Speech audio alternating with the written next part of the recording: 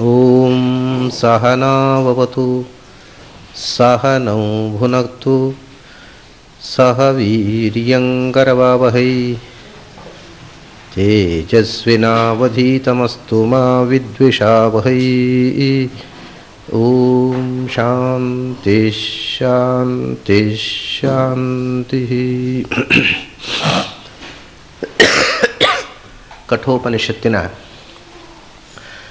ಪ್ರಥಮ ಅಧ್ಯಾಯದ ಕೊನೆಯ ನಾಲ್ಕೈದು ಮಂತ್ರಗಳನ್ನು ನಾವು ಇವತ್ತು ನೋಡ್ತಾ ಇದ್ದೇವೆ.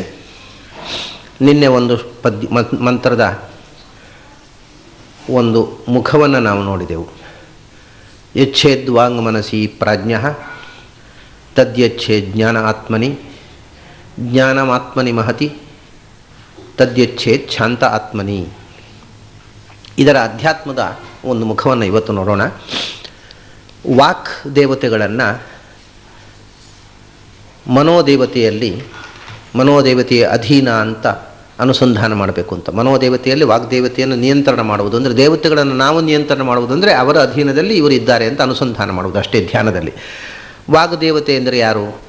ನಮಗೆ ಹಿಂದೆ ವಾಗ್ದೇವತೆ ಅಂದರೆ ವಾಗೀಂದ್ರಿಯ ದೇವತೆ ಅಗ್ನಿ ಅಂತ ಬಂದಿದೆ. ಇಲ್ಲಿ ವಾಗೀಂದ್ರಿಯ ಅಲ್ಲ, ವಾಕ್ ಅಂದರೆ ಶಬ್ದ, ಮಾತು. ಆ ವಾಗ್ ಮಾತು ಅಂತಂದರೆ ವೇದವಾಣಿ, ಶಾಸ್ತ್ರ ವಚನಗಳು. ವಾಗ್ದೇವತೆಗಳು ಅಂತಂದರೆ ಇಲ್ಲಿ ಸುಪರ್ಣಿ, ವಾರುಣಿ ಮತ್ತು ಪಾರ್ವತಿ. ಅವರನ್ನು ಮನೋದೇವತೆಗಳು ಅಂದರೆ ಗರುಡಶೇಷರು ಅದರಿಂದ ವಾಗ್ದೇವತೆಗಳಾಗಿರ್ತಕ್ಕಂಥ ಸುಪರ್ಣಿ, ವಾರುಣಿ, ಪಾರ್ವತಿಯರನ್ನು ಅದರ ಮೊದಲು ಇಂದ್ರಿಯಾಭಿಮಾನ ದೇವತೆಗಳನ್ನು ವಾಗ್ದೇವತೆಯರ ಅಧೀನವಾಗಿ ಅನುಸಂಧಾನ ಮಾಡಿ ವಾಗ್ದೇವತೆಗಳನ್ನು ಮನೋದೇವತೆಗಳಾಗಿರ್ತಕ್ಕಂಥ ಗರುಡಶೇಷ ರುದ್ರರ ಅಧೀನರಾಗಿದ್ದಾರೆ ಅಂತ ಅನುಸಂಧಾನ ಮಾಡಬೇಕು. ತದ್ಯಚ್ಛೇತ್ ಮನೋದೇವತೆಗಳನ್ನು ಜ್ಞಾನೇ ಆತ್ಮನಿ ಜ್ಞಾನದ ಅಭಿಮಾನಿಯಾಗಿರ್ತಕ್ಕಂಥ ಸರಸ್ವತಿ ಮತ್ತು ಭಾರತೀಯರಲ್ಲಿ ಈ ಮನೋಭಿಮಾನ ದೇವತೆಗಳಾಗಿರ್ತಕ್ಕಂಥ ಗರುಡಶೇಷ ರುದ್ರರು ಅವರಿಗೆ ಅಧೀನವಾಗಿದ್ದಾರೆ ಅಂತ ಅನುಸಂಧಾನ ಮಾಡಬೇಕು. ಆ ಸರಸ್ವತಿ ಭಾರತೀಯರನ್ನು ಜ್ಞಾನಂ ಆತ್ಮನಿ ಮಹತಿ, ಮಹತ್ತತ್ವದ ಅಭಿಮಾನಿಯಾಗಿರತಕ್ಕಂಥ ಬ್ರಹ್ಮವಾಯುಗಳಿಗೆ ಅಧೀನವಾಗಿ ಸರಸ್ವತಿ ಭಾರತೀಯರಿದ್ದಾರೆ ಅಂತ ಅನುಸಂಧಾನ ಮಾಡಬೇಕು.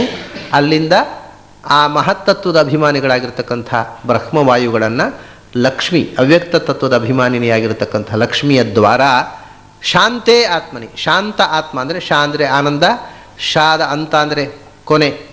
ಅಂದರೆ ಆನಂದದ ಪರಿಪೂರ್ಣ ಸ್ಥಿತಿಯಲ್ಲಿರತಕ್ಕಂಥ ಪೂರ್ಣಾನಂದನಾದ ಭಗವಂತನಿಗೆ ಅಧೀನವಾಗಿ ಇದ್ದಾಳೆ ಅಂತ ಅನುಸಂಧಾನ ಮಾಡಬೇಕು ಹೀಗೆ ಹಿಂದೆ ಹೇಳಿದ ತಾರತಮ್ಯವನ್ನೇ ಇಲ್ಲಿ ಉಪಸಂಹಾರದಲ್ಲಿ ನಮ್ಮ ಧ್ಯಾನದಲ್ಲಿ ಯಾರನ್ನು ಯಾರ ಅಧೀನ ಅಂತ ಅನುಸಂಧಾನ ಮಾಡಬೇಕು ಅನ್ನುವುದನ್ನು ಹೇಳುವಂಥದ್ದು ಈ ಶ್ಲೋಕದ ಆಧ್ಯಾತ್ಮಿಕ ಉಪಾಸನೆಯ ಮುಖ. ಇಂದ್ರಿಯಾಭಿಮಾನಿ ದೇವತೆಗಳಲ್ಲ, ದೇಹಾಭಿಮಾನಿ ದೇವತೆಗಳು ಇಂದ್ರಿಯಾಭಿಮಾನ ದೇವತೆಗಳ ಅಧೀನವಾಗಿದ್ದಾರೆ. ಇಂದ್ರಿಯಾಭಿಮಾನಿ ದೇವತೆಗಳು ವಾಗ್ದೇವತೆಗಳಾಗಿರತಕ್ಕಂಥ ಸುಪರ್ಣಿ, ವಾರುಣಿ, ಪಾರ್ವತಿಯರ ಅಧೀನರಾಗಿದ್ದಾರೆ. ವಾಗ್ದೇವತೆಗಳಾದ ಸುಪರ್ಣಿ, ವಾರುಣಿ, ಪಾರ್ವತಿಯರು ಮನೋದೇವತೆಗಳಾಗಿರತಕ್ಕಂಥ ಗರುಡಶೇಷ ರುದ್ರರ ಅಧೀನರಾಗಿದ್ದಾರೆ. ಗರುಡಶೇಷ ರುದ್ರರು ಜ್ಞಾನದೇವತೆ ವಿಜ್ಞಾನ ದೇವತೆಯಾಗಿರತಕ್ಕಂಥ ಸರಸ್ವತಿ ಬುದ್ಧಿ ದೇವತೆಯಾಗಿರತಕ್ಕಂಥ ಸರಸ್ವತಿ ಭಾರತೀಯರ ಅಧೀನವಾಗಿದ್ದಾರೆ. ಸರಸ್ವತಿ ಭಾರತೀಯರು ಮಹತ್ತತ್ವದ ಅಭಿಮಾನಿಗಳಾಗಿರ್ತಕ್ಕಂಥ ಮತ್ತು ಜೀವತತ್ವದ ಅಭಿಮಾನಿಗಳಾಗಿರ್ತಕ್ಕಂಥ ಬ್ರಹ್ಮವಾಯುಗಳ ಅಧೀನವಾಗಿದ್ದಾರೆ. ಅವರು ಲಕ್ಷ್ಮಿಯ ಅಧೀನವಾಗಿದ್ದಾರೆ.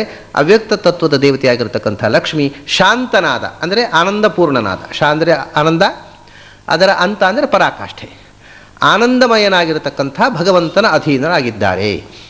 ಇಷ್ಟು ತಾರತಮ್ಯದ ಅನುಸಂಧಾನ ಧ್ಯಾನದಲ್ಲಿ ಮಾಡಬೇಕು ಅಂತ ಅನ್ನತಕ್ಕಂಥದ್ದು ಈ ಮಂತ್ರದಲ್ಲಿ ಹೇಳತಕ್ಕಂಥ ಉಪಾಸನಾ ವಿಧಾನ. ಬಹಿರ್ಮುಖವಾದಂಥ ಅರ್ಥವನ್ನು ನಿನ್ನೆ ವಿವರಿಸಿದ್ದೆ. ಉಪಾಸನೆಯಲ್ಲಿ ಯಾವ ಯಾವ ದೇವತೆಗಳನ್ನು ಯಾವ ಅನುಕ್ರಮದಲ್ಲಿ ಮೆಟ್ಟಲುಗಳಿವು. ಇಲ್ಲಿ ಎಂಟನೇ ಮೆಟ್ಟಲಿನಿಂದ ಮೇಲೆ ಮಾತ್ರ ಹೇಳಿದ್ದಾರೆ. ಎಂಟನೇ ಮೆಟ್ಟಲಿನಲ್ಲಿ ಇಂದ್ರಿಯಾಭಿಮಾನ ದೇವತೆ, ಅದಕ್ಕಿಂತ ವಾಗ್ದೇವತೆಗಳಾಗಿರ್ತಕ್ಕಂಥ, ಏಳನೇ ಮೆಟ್ಟಲಲ್ಲಿರ್ತಕ್ಕಂಥ ಸರಸ್ವತಿ ಇವ ಉಮಾ ಮತ್ತು ಸುಪರ್ಣಿ ವಾರುಣಿಯರು. ಅಲ್ಲಿಂದ ಐದನೇ ಮೆಟ್ಟಲಲ್ಲಿರ್ತಕ್ಕಂಥ ಗರುಡಶೇಷ ರುದ್ರರು ಅಲ್ಲಿಂದ ನಾಲ್ಕನೇ ಮೆಟ್ಟಲಲ್ಲಿರ್ತಕ್ಕಂಥ ಸರಸ್ವತಿ ಭಾರತೀಯರು, ಅಲ್ಲಿಂದ ಮೂರನೇ ಮೆಟ್ಟಲಲ್ಲಿರ್ತಕ್ಕಂಥ ಬ್ರಹ್ಮವಾಯುಗಳು, ಅಲ್ಲಿಂದ ಎರಡನೇ ಹಂತದಲ್ಲಿರತಕ್ಕಂಥ ಶ್ರೀತತ್ವ, ಪ್ರಕೃತಿ, ಅವ್ಯಕ್ತ, ಅಲ್ಲಿಂದ ಒಂದನೆಯ ತತ್ವ, ಮೊದಲನೆಯ ತತ್ವ, ನಾರಾಯಣ. ಹೀಗೆ ಎಂಟರಿಂದ ಒಂದರ ತನಕ ಹೇಗೆ ನಿಯಮ್ಯ ನಿಯಾಮಕ ಭಾವವನ್ನು ಅನುಸಂಧಾನ ಮಾಡಬೇಕು ಅಂತ ಹೇಳಿದ್ದಾರೆ. ಅದರ ಕೆಳಗಿನ ದೇವತೆಗಳನ್ನು ಹೇಳಲಿಲ್ಲ ಇಲ್ಲಿ. ಮುಖ್ಯವಾದಂಥ ಮುಖ. ಇಂದ್ರಿಯಾಭಿಮಾನಿಗಳಿಂದ ಅನುಸಂಧಾನ ಬಹಳ ಮುಖ್ಯವಾದ. ಇಲ್ಲಿ ಮೊದಲು ಹೇಳುವಾಗಲೂ ಅವರು ಇಂದ್ರಿಯೇಭ್ಯ ಪರಾಹಿ ಇಂದ್ರಿಯಗಳಿಂದೇ ತಗೊಂಡಿದ್ದಾರೆ. ಅದಕ್ಕಿಂತ ಕೆಳಗಿನ ತತ್ವಗಳನ್ನು ಬಿಟ್ಟಿದ್ದಾರೆ. ಇಂದ್ರಿಯೇಭ್ಯ ಪರಾಹಿ ಅರ್ಥಾ ಅರ್ಥೇಭ್ಯಶ್ಚ ಪರಂ ಮನಃ ಮನಸಸ್ತು ಪರ ಬುದ್ಧಿ ಬುದ್ಧೇರಾತ್ಮ ಮಹಾನ್ ಪರಃ, ಮಹತಃ ಪರಂ ಅವ್ಯಕ್ತಂ, ಅವ್ಯಕ್ತಾತ್ ಪುರುಷ ಪರಃ, ಪುರುಷಾನ್ನ ಪರಂ ಕಿಂಚಿತ್ ಸಾ ಕಾಷ್ಠ ಸಾ ಪರಾಗತಿ ಅಂತ. ಹಾಗೆ ಎಂಟರಿಂದ ಮುಂದೆ ಭಗವಂತನ ತನಕ, ಇಂದ್ರನಿಂದ ಉಪೇಂದ್ರನ ತನಕ. ಒಂದಷ್ಟು ಭಗವಂತನಿಗೆ ಉಪೇಂದ್ರ ಅಂತ ಹೆಸರು. ಇಂದ್ರನಿಂದ ಇಂದ್ರನ ತಮ್ಮನ ತನಕ. ತಮ್ಮ ಅಣ್ಣನಿಗಿಂತ ದೊಡ್ಡವ. ಅಣ್ಣನಿಗಿಂತ ಸೀನಿಯರು ತಮ್ಮ. ಇದು ವಿಚಿತ್ರ ಅಷ್ಟೇ. ಉಪೇಂದ್ರ, ಇಂದ್ರ, ಇಂದ್ರನ ತಮ್ಮ, ಅಜಘನ್ಯ ಜಘನ್ಯಜ ಅಂತ ಭಾರತದಲ್ಲಿ ಹೇಳ್ತಾರೆ. ಇವನು ಉಪೇಂದ್ರ ಯಾರು ಅಂದರೆ ಅಜಘನ್ಯ ಜಘನ್ಯಜ. ಜಘನ್ಯಜ ಅಂದರೆ ಕೊನೆಗೆ ಹುಟ್ಟಿದವ. ಕೊನೆಯ ಕೊನೆಯ ತಮ್ಮ. ಹನ್ನೆರಡು ಮಂದಿ ಆದಿತ್ಯರಲ್ಲಿ ಕೊನೆಯವನು ಉಪೇಂದ್ರ.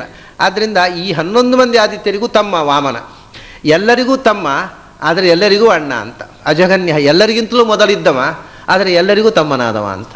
ಹಾಗೆ ಇಂದ್ರನಿಂದ ಉಪೇಂದ್ರನ ತನಕ ಹೇಗೆ ಭಗವಂತನ ಒಂದು ವ್ಯವಸ್ಥೆಯಲ್ಲಿ ಈ ದೇವತೆಗಳ ತಾರತಮ್ಯ ಅನುಕ್ರಮ ಇದೆ, ಅಧಿಕಾರ ತಾರತಮ್ಯ ಇದು. ಹೇಗೆ ಲೋಕದಲ್ಲಿ ಅಧಿಕಾರದ ಒಂದು ತಾರತಮ್ಯವನ್ನು ಆಯಾ ಅಧಿಕಾರಿಗಳ ಪ್ರೋಟೋಕಾಲ್ ಪ್ರಕಾರವೇ ನಾವು ಅನುಸರಿಸಬೇಕು. ಅದು ಹೆಚ್ಚು ಕಮ್ಮಿ ಮಾಡಿಬಿಟ್ರೆ ಅವ್ಯವಸ್ಥೆ ಆಗಿಬಿಡುತ್ತೆ. ಹಾಗೆಯೇ ಅಧಿಕಾರದಲ್ಲಿ ಒಂದು ಪ್ರೋಟೋಕಾಲ್ ಇದೆ. ದೇವತೆಗಳ ಅಧಿಕಾರದಲ್ಲಿ ಒಂದು ಪ್ರೋಟೋಕಾಲ್ ಇದೆ. ಎಲ್ಲ ದೇವತೆಗಳು ಅಧಿಕಾರಿಗಳು, ಎಲ್ಲ ದೇವತೆಗಳು ಒಂದೇ ಥರ ಅಲ್ಲವೇ ಇಲ್ಲ. ಒಬ್ಬೊಬ್ಬ ದೇವತೆಗೆ ಒಂದೊಂದು ಅಧಿಕಾರದ ವ್ಯಾಪ್ತಿ ಇದೆ. ಮತ್ತು ಆ ಅಧಿಕಾರದಲ್ಲಿ ಮೇಲೂ ಕೀಳು ಇದೆ. ಉನ್ನತಾಧಿಕಾರಿಗಳು, ಅಧಮಾಧಿಕಾರಿಗಳು ಅಂತ. ಅದರ ಮೇಲಿನವರಿಗೆ ಕೆಳಗಿನ ಎಲ್ಲದರ ಮೇಲೂ ಅಧಿಕಾರ ಇದೆ. ಈಗ ಉದಾಹರಣೆಗೆ ಇಂದ್ರ, ಇಂದ್ರಿಯದ ಅಭಿಮಾನಿ, ಕೈಯ ಅಭಿಮಾನಿ ಅಂತ ಹೇಳಿದರು.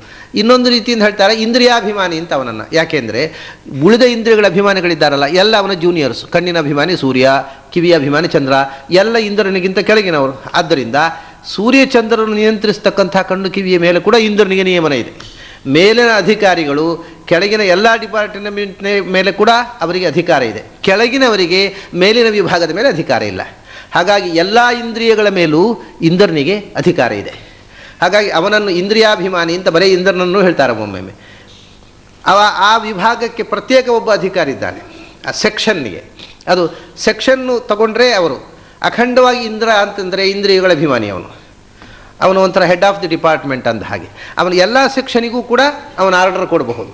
ಆದರೆ ಆಯಾ ಸೆಕ್ಷನ್ನಿಂದ ಆರ್ಡರ್ ಪಾಸ್ ಆಗಬೇಕಾದ್ರೆ ಥ್ರೂ ದ ಪ್ರಾಪರ್ ಚಾನೆಲ್ ಆಯಾ ಅಧಿಕಾರಿಗಳ ಮೂಲಕ ಆಗಬೇಕು. ಹಾಗೆ ಹೀಗೆ ಒಂದು ಮೇಲಿನ ದೇವತೆಗಳು, ಕೆಳಗಿನ ಎಲ್ಲ ವಿಭಾಗಕ್ಕೂ ನಿಯಾಮಕರವರು. ಆದರೆ ಅವರಿಗೆ ಒಂದು ವಿಶೇಷ ಪೋರ್ಟ್ಫೋಲಿಯೋ ಇರ್ತದೆ ಈಗ, ಈ ಉದಾಹರಣೆಗೆ ಪ್ರೈಮ್ ಮಿನಿಸ್ಟರ್ ಇರ್ತಾರೆ ಪ್ರೈಮ್ ಮಿನಿಸ್ಟರಿಗೆ ಅಲ್ಲಿ ಇರತಕ್ಕಂಥ ಮಿನಿಸ್ಟ್ರಿಯಲ್ಲಿ ಯಾವ್ಯಾವ ವಿಭಾಗಗಳಿದೆ, ಆ ಎಲ್ಲ ಮಿನಿಸ್ಟರ್ಗಳನ್ನು ಕೂಡ ಆಜ್ಞೆ ಮಾಡುವ ಅಧಿಕಾರ ಇದೆ. ಆದರೆ ಅವರು ಒಂದು ಪೋರ್ಟ್ಫೋಲಿಯೋ ಇಟ್ಕೊಳ್ತಾರೆ ಫಾರಿನ್ ಪಾಲಿಸಿ ಹಾಂ ಪ್ರೈಮ್ ಮಿನಿಸ್ಟರ್ ಅಧೀನ ಇದೆ, ಅಥವಾ ಡಿಫೆನ್ಸ್ ಪ್ರೈಮ್ ಮಿನಿಸ್ಟರ್ ಅಧೀನ ಇದೆ. ಅಂದರೆ ಉಳಿದದವರ ಅಧೀನ ಇಲ್ಲ ಅಂತಲ್ಲ, ಇದನ್ನು ಕೇವಲ ತನ್ನ ಸ್ವಾಧೀನ. ಹಾಗೆ ಇಂದ್ರನಿಗೆ ಇಡೀ ಎಲ್ಲ ಇಂದ್ರಿಯಗಳ ನಿಯಾಮಕತ್ವ ಇದೆ. ವಿಶೇಷವಾಗಿ ಹಸ್ತ ನಿಯಾಮಕನಾಗಿದ್ದಾನೆ ಅವನು. ಒಂದು ಡಿಪಾರ್ಟ್ಮೆಂಟನ್ನು ಆ ಹೆಡ್ ಆಫ್ ದಿ ಡಿಪಾರ್ಟ್ಮೆಂಟ್ ಅವರು ತನ್ನ ಸ್ವಾಧೀನ ಇಟ್ಟುಕೊಳ್ಳೋದು. ಈ ಲೋಕದಲ್ಲಿ ಯಾವ ರೀತಿ ವ್ಯವಸ್ಥೆ ಇದೆ, ಅದೆಲ್ಲವೂ ಕೂಡ ಅಧ್ಯಾತ್ಮದಲ್ಲೂ ಅದೇ ರೀತಿ ದೇವತೆಗಳಿಗೆ ನಿಯಾಮಕತ್ವದ ವ್ಯವಸ್ಥೆ. ಅಂದರೆ ಲೋಕದ್ದು ನೋಡಿ ಅವರು ಮಾಡಿದ್ದಲ್ಲ, ಅಲ್ಲಿರುವುದನ್ನು ನೋಡಿ ಲೋಕದಲ್ಲಿ ಬಂದದ್ದು. ನಮ್ಮ ಅಧಿಕಾರಿಗಳ ವರ್ತನೆ ನೋಡಿಕೊಂಡು ದೇವತೆಗಳು ಪೋರ್ಟ್ಫೋಲಿಯೋ ಹಂಚಿಕೊಂಡದ್ದಲ್ಲ. ದೇವಲೋಕದಲ್ಲಿ ಹೇಗೆ ಅಧಿಕಾರದ ವ್ಯವಸ್ಥೆ ಇದೆ, ಅದೇ ರೀತಿ ಈ ಲೋಕದಲ್ಲಿ ಇರೋದು. ಆ ರೀತಿಯಾಗಿ ಉತ್ತಮ ಅಧಿಕಾರಿಗಳು ಎಲ್ಲ ಅಧಮ ವಿಭಾಗದ ನಿಯಾಮಕರಾಗಿರ್ತಾರೆ. ಅಧಮ ದೇವತೆಗಳು ಉತ್ತಮ ವಿಭಾಗದ ನಿಯಾಮಕತ್ವ ಇಲ್ಲ.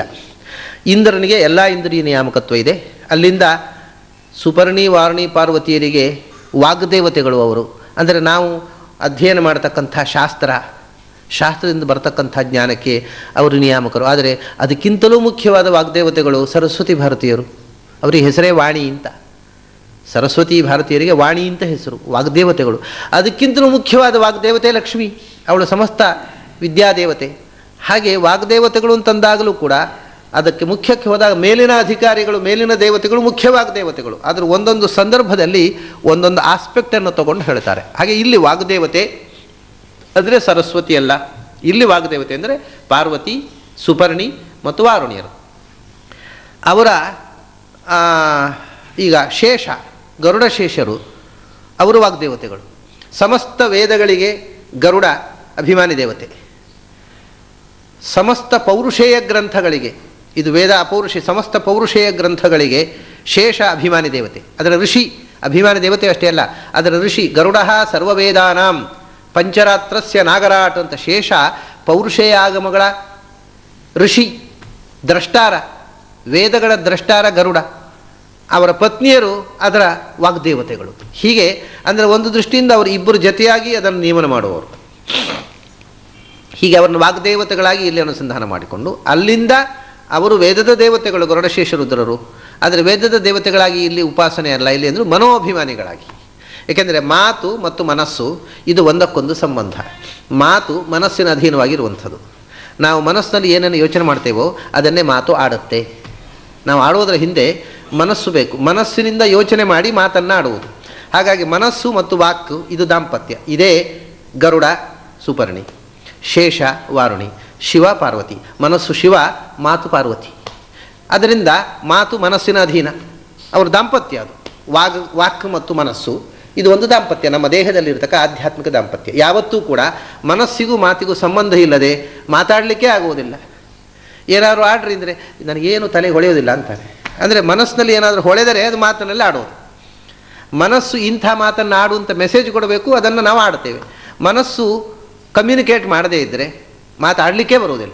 ಹಾಗಾಗಿ ಇದು ಒಂದು ದಾಂಪತ್ಯ, ಮಾತು ಮತ್ತು ಮನಸ್ಸು. ಅದನ್ನೇ ವಾರುಣಿ, ಪಾರ್ವತಿ, ಸುಪರ್ಣಿ ಅಂತ. ಸುಪರ್ಣಿ, ಪಾರ್ವತಿ, ವಾರುಣಿ ಹೌದು. ಅದಕ್ಕೆ ಗರುಡ, ಶೇಷ, ರುದ್ರ ಅಂತ. ಇದೊಂದು ವಾಕ್ ಮತ್ತು ಮನಸ್ಸಿನ ದಾಂಪತ್ಯ. ಮನಸ್ಸಿಗಿಂತ ಆಚೆಗೆ ಹೋದಾಗ ಬುದ್ಧಿ. ಅದಕ್ಕೆ ಸರಸ್ವತಿ ಭಾರತೀಯರು. ಅಂದರೆ ಇದು ಅಧ್ಯಾತ್ಮವಾಗಿ ಅನುಸಂಧಾನ. ಪಿಂಡಾಂಡದಲ್ಲಿಯೂ ಅನುಸಂಧಾನ ಮಾಡಬಹುದು ದೇವತೆಗಳನ್ನು, ಬ್ರಹ್ಮಾಂಡದಲ್ಲಿಯೂ ಅನುಸಂಧಾನ ಮಾಡ್ಬೋದು ಪಿಂಡಾಂಡದಲ್ಲಿ ಅಧ್ಯಾತ್ಮ ರೂಪ ಬ್ರಹ್ಮಾಂಡದಲ್ಲಿ ಅಧಿಭೂತ ರೂಪ. ಇದು ಪಿಂಡಾಂಡದಲ್ಲಿ ಅನುಸಂಧಾನ ನಮ್ಮ ಮಾತು, ನಮ್ಮ ಮನಸ್ಸು, ಮನಸ್ಸಿಗೆ ಒಳಗೆ ಅದರಿಂದ ಆಚೆಗೆ ಇರತಕ್ಕ ಸೂಕ್ಷ್ಮವಾದಂತಹ ಫ್ಯಾಕಲ್ಟಿ, ಬುದ್ಧಿ, ಅದಕ್ಕೆ ಸರಸ್ವತಿ ಭಾರತೀಯರು. ಬುದ್ಧಿಗಿಂತಲೂ ಸೂಕ್ಷ್ಮವಾಗಿರತಕ್ಕಂಥ ಫ್ಯಾಕಲ್ಟಿ, ನಮ್ಮ ಒಳಗಿರತಕ್ಕಂಥ ಚಿತ್ತ ಮೆಮೊರಿ ಶೆಲ್ಲು ಸಬ್ ಕಾನ್ಷಿಯಸ್ ಲೆವೆಲ್ನಲ್ಲಿ ಅಂತ ಹೇಳ್ತೇವೆ ನಾವು, ಆ ಸಬ್ ಕಾನ್ಷಿಯಸ್ಸು ಆ ಚಿತ್ತ ಅನ್ನುವಂಥದ್ದು, ಅದು ಬ್ರಹ್ಮವಾಯುಗಳು. ಅಷ್ಟೇ ಅಲ್ಲ, ಜೀವದ ಸ್ವರೂಪದವರೆಗೂ ಬ್ರಹ್ಮವಾಯುಗಳು. ಅದರ ಆಚೆಗೆ ಈ ಜೀವಕ್ಕೆ ಈ ಈ ಪ್ರಪಂಚದ ಬಂಧನವನ್ನು, ಪಿಂಡಾಂಡದ ಬ್ರಹ್ಮಾಂಡದ ಬಂಧನವನ್ನು ಕೊಟ್ಟು ಜೀವವನ್ನು ಮುಚ್ಚಿಟ್ಟಂಥ ಪ್ರಕೃತಿ. ಅದರ ಆಚೆಗೆ ಈ ಮುಚ್ಚಳವನ್ನು ತೆಗೆದು ಇವನನ್ನು ಬಿಚ್ಚಿ ಮುಕ್ತನನ್ನಾಗಿ ಮಾಡ್ತಕ್ಕಂಥ ಭಗವಂತ. ಹೀಗೆ ಅನುಸಂಧಾನ ಈ ರೀತಿಯ ತಾರತಮ್ಯ ಕ್ರಮದಲ್ಲಿ ಅನುಸಂಧಾನ ಮಾಡಬೇಕು ಅನ್ನುವಂಥದ್ದು ಈ ಮಂತ್ರದ ಉದ್ದೇಶ. ಯಚ್ಛೇತ್ ವಾಂಗ್ಮನಸೀ ಪ್ರಾಜ್ಞ ಇಲ್ಲಿ ಒಂದು ವಿಚಿತ್ರವಾದ ಪ್ರಯೋಗ ಇದೆ. ವಾಂಗ್ಮನಸೀ ಯಚ್ಛೇತ್ ಅಂದರೆ ವಾಕು ಮತ್ತು ಮನಸ್ಸುಗಳನ್ನು ದ್ವಿವಚನ ಇದೆ. ವಾಕು ಮತ್ತು ಮನಸ್ಸು. ಆದರೆ ಈ ದೀರ್ಘವನ್ನು ಹರಸ್ವ ಮಾಡಿಕೊಳ್ಳೋಣ. ಯಚ್ಛೇತ್ ವಾಂಗ್ಮನಸಿ ಪ್ರಾಜ್ಞ. ದೀರ್ಘ ಅನ್ನೋದು ಆಧಿಕ್ಯಾರ್ಥಕ. ನಾನು ಹೇಳಿದೆ, ಒಂದು ವಸ್ತುವನ್ನು ಹರಸ್ವ ಇರತಕ್ಕಂಥ ಅಕ್ಷರವನ್ನು ದೀರ್ಘವಾಗಿ ಉಚ್ಚಾರ ಮಾಡಿದರೆ ಅದು ಆಧಿಕ್ಯವನ್ನು ಹೇಳುತ್ತೆ ಅಂತ ಮನಸೀ ಅಂತ ಇದೆ. ಅಂದರೆ ವಾಕು ಮತ್ತು ಮನಸ್ಸುಗಳು ಅಂತ ಅರ್ಥ ಆಗ್ತದೆ. ಆದರೆ ಮನಸ್ಸಿ ಅದನ್ನು ಹರಸ್ವಾಗಿ ಇಟ್ಟುಕೊಂಡ್ರೆ ಮನಸ್ಸಿ ಅಂದರೆ ಮನಸ್ಸಿನಲ್ಲಿ ಅಂತ ಅರ್ಥ. ಸಪ್ತಮಿ ವಿಭಕ್ತಿ ಆಯಿತು. ಮನಸ್ಸೀ ಅಂದರೆ ನೋಡಿ, ಇದು ಸಂಸ್ಕೃತದಲ್ಲಿ ಇರತಕ್ಕಂಥ ಚಮತ್ಕಾರಗಳು. ಮನಸ್ಸೀ ಅಂದರೆ ಎರಡು ಮನಸ್ಸುಗಳು ಅಥವಾ ಯಾವುದೋ ಒಂದು ಒಂದು ಮತ್ತೊಂದು ಮನಸ್ಸು. ದ್ವಿವಚನ, ಮನಸ್ಸು ಶಬ್ದದ ದ್ವಿವಚನ. ಮನಸ್ಸಿ ಅಂದರೆ, ಅದು ಹ್ರಸ್ವ ಮಾಡಿದರೆ ಮನಸ್ಸಿನಲ್ಲಿ ಅಂತ ಅರ್ಥ. ಸಪ್ತಮಿ ವಿಭಕ್ತಿ ಏಕವಚನ ಅದು.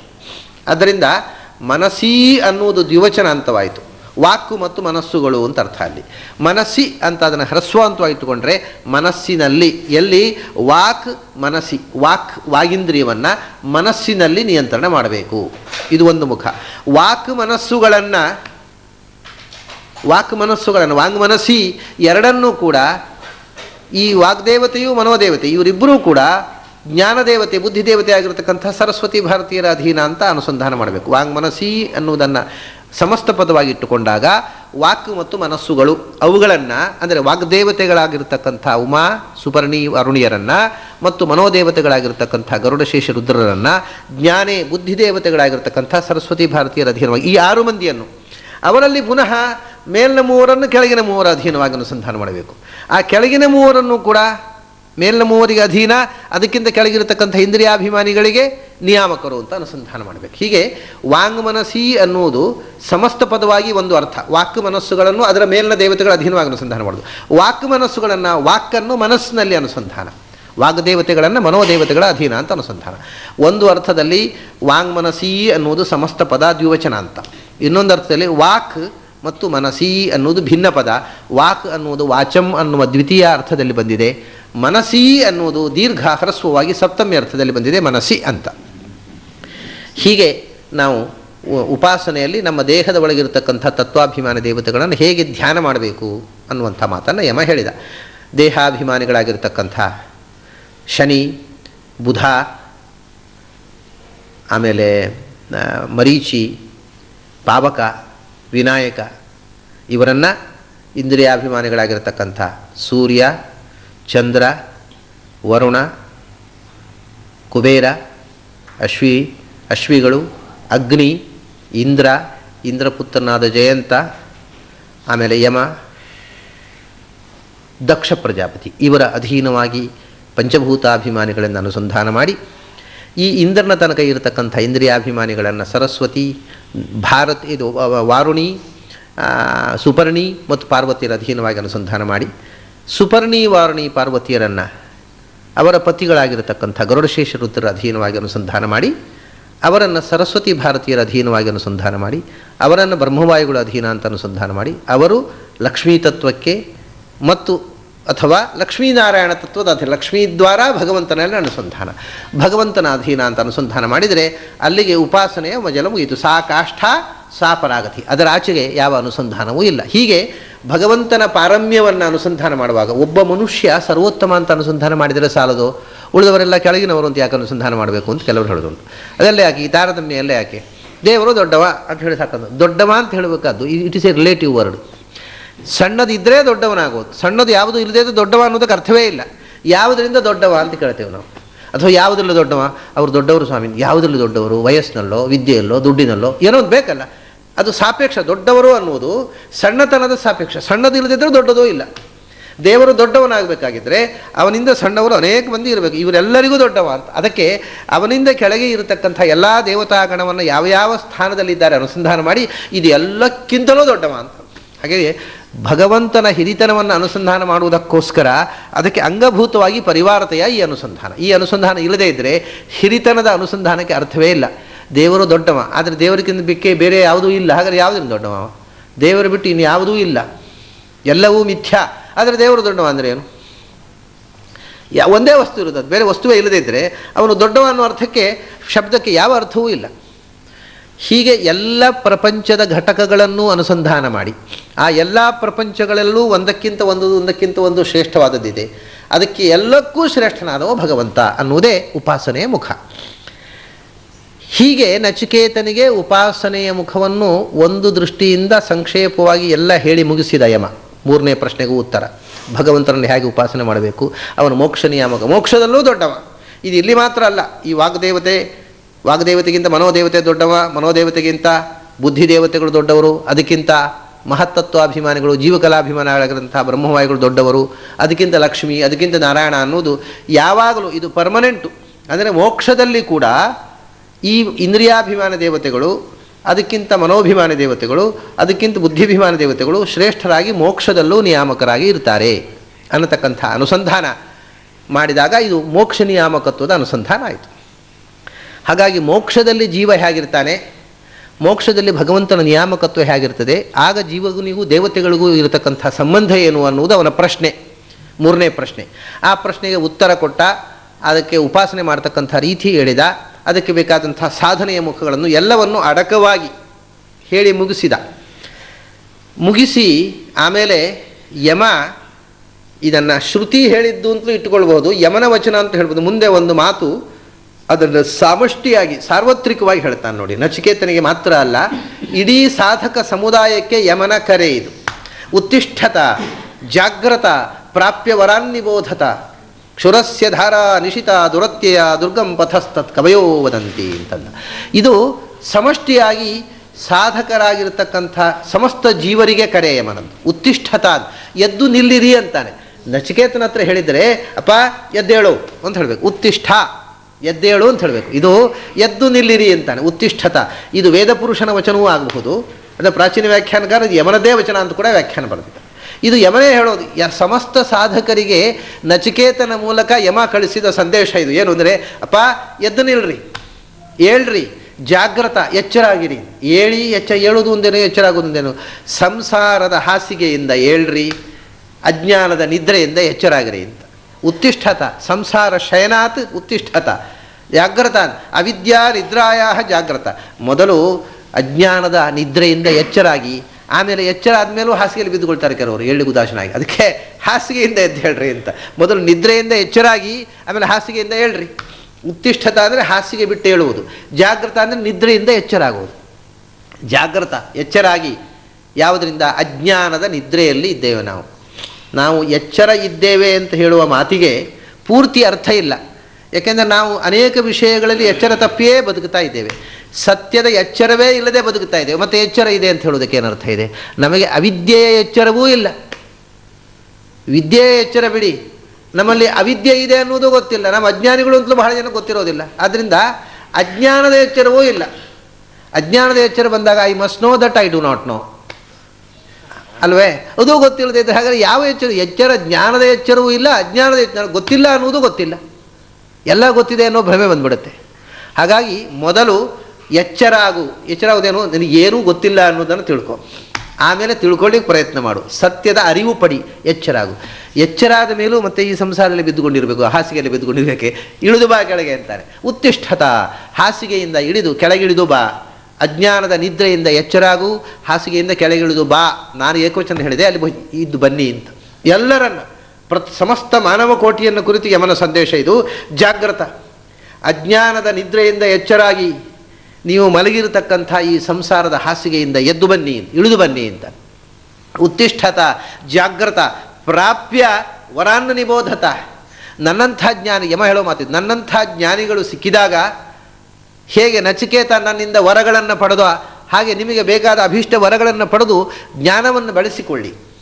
ಪ್ರಾಪ್ಯ ವರಾನ್ನ ನಿಬೋಧತ ಜ್ಞಾನಿಗಳು ದೊರಕಿದಾಗ ಯಮ, ನನ್ನಿಂದಲೂ ಆಗಬಹುದು. ಎಲ್ಲರೂ ಯಮನ ಹತ್ರ ಹೋಗೋದು ಪ್ರಶ್ನೆ ಕೇಳೋದಕ್ಕೋಸ್ಕರ ಅಲ್ಲ. ಅಲ್ಲಿ ಹೋಗೋದು ಆಮೇಲೆ ಪ್ರಾರಬ್ಧ ಕರ್ಮ ಅದರಿಂದ ನನ್ನಂಥ ಜ್ಞಾನಿಗಳು ಸಿಕ್ಕಿದಾಗ ನೀವು ಬೇಕಾದ ವರಗಳನ್ನು ಕೇಳ್ರಿ ಅವರ ಹತ್ರ ಅಭೀಷ್ಟವನ್ನು ಪಡೆದುಕೊಳ್ಳಿರಿ. ಮತ್ತು ಪ್ರಾಪ್ಯ ವರಾನ್ ಯಾರು ವರ ಅಂದರೆ ಶ್ರೇಷ್ಠ ಅಂತ ಅರ್ಥ. ವರ ಅಂದರೆ ಅಭೀಷ್ಟವಾಗಿರತಕ್ಕಂಥ ಸಂಗತಿ ಅಂತ ಒಂದರ್ಥ. ನಾವು ಆ ಅವರಿಂದ ಯಾರು ಏನನ್ನು ವರಿಸುತ್ತೇವೆ, ಅಪೇಕ್ಷಿಸುತ್ತೇವೆ ಅದು. ಇನ್ನೊಂದು ವರ ಅಂದರೆ ಏನು? ಶ್ರೇಷ್ಠ ಅಂತ ಅರ್ಥ. ಶ್ರೇಷ್ಠ ಅಂದ ಅಪ್ರಾಪ್ಯ ವರ ಯಾರು ನಿಮಗಿಂತ ಶ್ರೇಷ್ಠರಾದವರು ಇದ್ದಾರೋ ಅಂದರೆ ಜ್ಞಾನದಲ್ಲಿ ಶ್ರೇಷ್ಠರಾದವರು. ಯಾರು ನಿಮಗಿಂತ ಹಿರಿಯರಿದ್ದಾರೆ, ಅವರು ಸಿಕ್ಕಿದಾಗ ಅಂಥ ವರಾನ್ನು ಪ್ರಾಪ್ಯ. ಜ್ಞಾನದಿಂದ ಹಿರಿಯರಾದವರು ಸಿಕ್ಕಿದಾಗ ಅವರಿಂದ ನಿಬೋಧತ ಆದಷ್ಟು ಹೀರಿಕೊಳ್ಳಿ. ಆ ಜ್ಞಾನವನ್ನು ಪಡ್ಕೊಳ್ಳಿ. ಅದನ್ನು ಕಳ್ಕೊಳ್ಬೇಡಿ. ಪ್ರಾಪ್ಯ ವರಾನ್ ದೊಡ್ಡವರು ಸಿಕ್ಕಿದಾಗ ದೊಡ್ಡವರನ್ನು ಪಡೆದು ಅವರಿಂದ ನಿಬೋಧತ ಜ್ಞಾನವನ್ನು ಪಡೆಯಿರಿ. ತದ್ವಿಧಿ ಪ್ರಣಿಪಾತೇನ ಪರಿಪ್ರಶ್ನೇನ ಸೇವೆಯ ಕೃಷ್ಣ ಹೇಳ್ತಾನಲ್ಲ, ಯಾರಾದರೂ ಜ್ಞಾನಿಗಳು ಸಿಕ್ಕಿದರೆ ಬಿಡಬೇಡ. ಅವನ ಕಾಲು ಗಟ್ಟಿ ಹಿಡ್ಕೋ, ಪ್ರಶ್ನೆ ಹಾಕು. ಪ್ರಶ್ನೆ ಹಾಕದೇ ಮತ್ತೆ ಮತ್ತೆ ಪರಿಪ್ರಶ್ನ ಅಂತ. ಪರಿಪ್ರಶ್ನ ಅಂದರೆ ಬೆಂಬಿಡದೆ ಪ್ರಶ್ನೆ ಹಾಕೋದು. ಒಂದು ಪ್ರಶ್ನೆ, ಒಮ್ಮೆ ಕೇಳು. ಕೇಳಿದರೂ ಕೂಡ ಹೇಳದೇ ಇದ್ರೆ ಮತ್ತೆ ಕೇಳು. ಮೂರನೇ ಸರ್ತಿ ಹೇಳದೇ ಇದ್ರೆ ಮತ್ತೆ ಕೇಳು. ಬೈದ್ರೆ ನಾಲ್ಕನೇ ಸರ್ತಿ ಪುನಃ ಕೇಳು. ಅವರು ಪ್ರಸನ್ನರಾಗುವವರೆಗೆ ಬೆನ್ನು ಬಿಡಬೇಡ ಅವರದ್ದು ಅಂತ ಹೇಳ್ತಾನೆ ಕೃಷ್ಣ. ತದ್ವಿಧಿ ಪ್ರಣಿಪಾತೇನ ಪರಿಪ್ರಶ್ನೇನ ಸೇವೆ. ಅದನ್ನೇ ಇಲ್ಲಿ ಹೇಳ್ತಾನೆ. ನಿಬೋಧತ ಪ್ರಾಪ್ಯ ದೊಡ್ಡವರು ಸಿಕ್ಕಿದಾಗ ಆ ಅವಕಾಶವನ್ನು ಕಳ್ಕೋಬೇಡ. ಅವರಿಂದ ಸಾಧ್ಯವಾದಷ್ಟು ಹೀರಿಕೊ. ಯಾಕೆ? ಅಂದರೆ ಇದು ಬಹಳ ಕಷ್ಟದ ದಾರಿಯಪ್ಪ. ನೀನು ಅಲಕ್ಷ್ಯ ಮಾಡಿದರೆ ಇದು ಎಂದೆಂದೂ ನೀನು ಪಡೆಯಲಾರೆ. ಕ್ಷುರಸ್ಯ ಧಾರ ನಿಶಿತ ದುರತ್ಯಯ. ಇದು ಇದು ಕತ್ತಿ, ಕತ್ತಿಯ ಅಲುಗಿನ ಮೇಲೆ ನಡೆಯುವ ನಡೆ ಅಂತ ಕ್ಷುರಸ್ಯದ ಕುರ, ಕ್ಷುರ ಅಂದರೆ ಕತ್ತಿ. ಕ್ಷುರ ಅಂತ ಅನ್ನೋದ್ರೆ ನಾವು ಚೂರಿ ಅನ್ನೋದು. ಅದೇ ಚೂರಿ ಅಂತ ಅದು. ಈ ಕ್ಷುರ ಅಂದರೆ ಕತ್ತಿ ಅದರಿಂದಲೇ ಕತ್ತಿಯಿಂದ ತಲೆ ಕತ್ತರಿಸುವುದಕ್ಕೆ ಕ್ಷೌರ ಅಂತ ಹೇಳೋದು. ಕ್ಷುರದಿಂದ ಮಾಡತಕ್ಕ ಕ್ರಿಯೆ ಕ್ಷೌರ. ತಲೆ ಬಳಸುವುದು ಅಂತ ಅರ್ಥ. ಕತ್ತಿ ಕತ್ತಿ, ಅದನ್ನ ಕ್ಷುರ ಅಂದರೆ ಕತ್ತಿ, ಚೂರಿ ಯಾವುದೂ ಆಗತ್ತೆ ಅಂತೂ ಇದು ಕತ್ತಿ.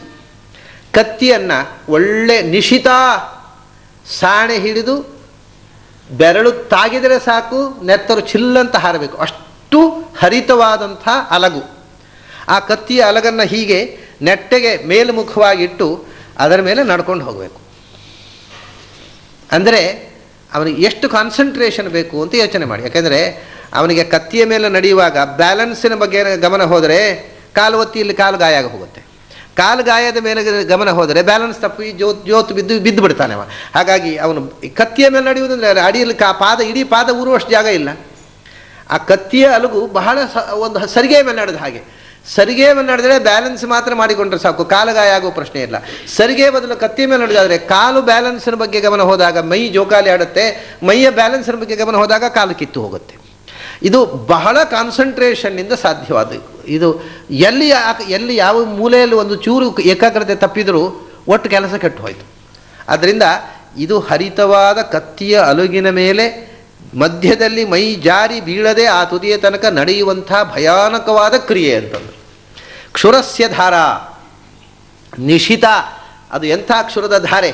ಧಾರೆ ಅಂದರೆ ಅಲಗು, ಕತ್ತಿಯ ಮೇಲಿನ ಶಾರ್ಪ್ ಎಜ್ ಅದು ನಿಶಿತ ಬಹಳ ಹರಿತವಾದದ್ದು. ಮತ್ತೆ ದುರತ್ಯಯ, ಅದು ಸುಲಭದಲ್ಲಿ ದಾಟ್ಲಿಕ್ಕೆ ಆಗೋದಿಲ್ಲ. ಮಧ್ಯೆಯಲ್ಲಿ ಕಾಲು ಕಿತ್ತುಕೊಂಡು, ನೆತ್ತರ ಸುರಿಸ್ಕೊಂಡು, ಗಾಯ ಮಾಡಿಕೊಂಡು, ಬ್ಯಾಂಡೇಜ್ ಹಾಕ್ಕೊಳ್ಳೋರೆ ಹೆಚ್ಚು ಹೊರತು ಆ ತುದಿ ತನಕ ಹೋಗೋದು ಬಹಳ ಕಷ್ಟ.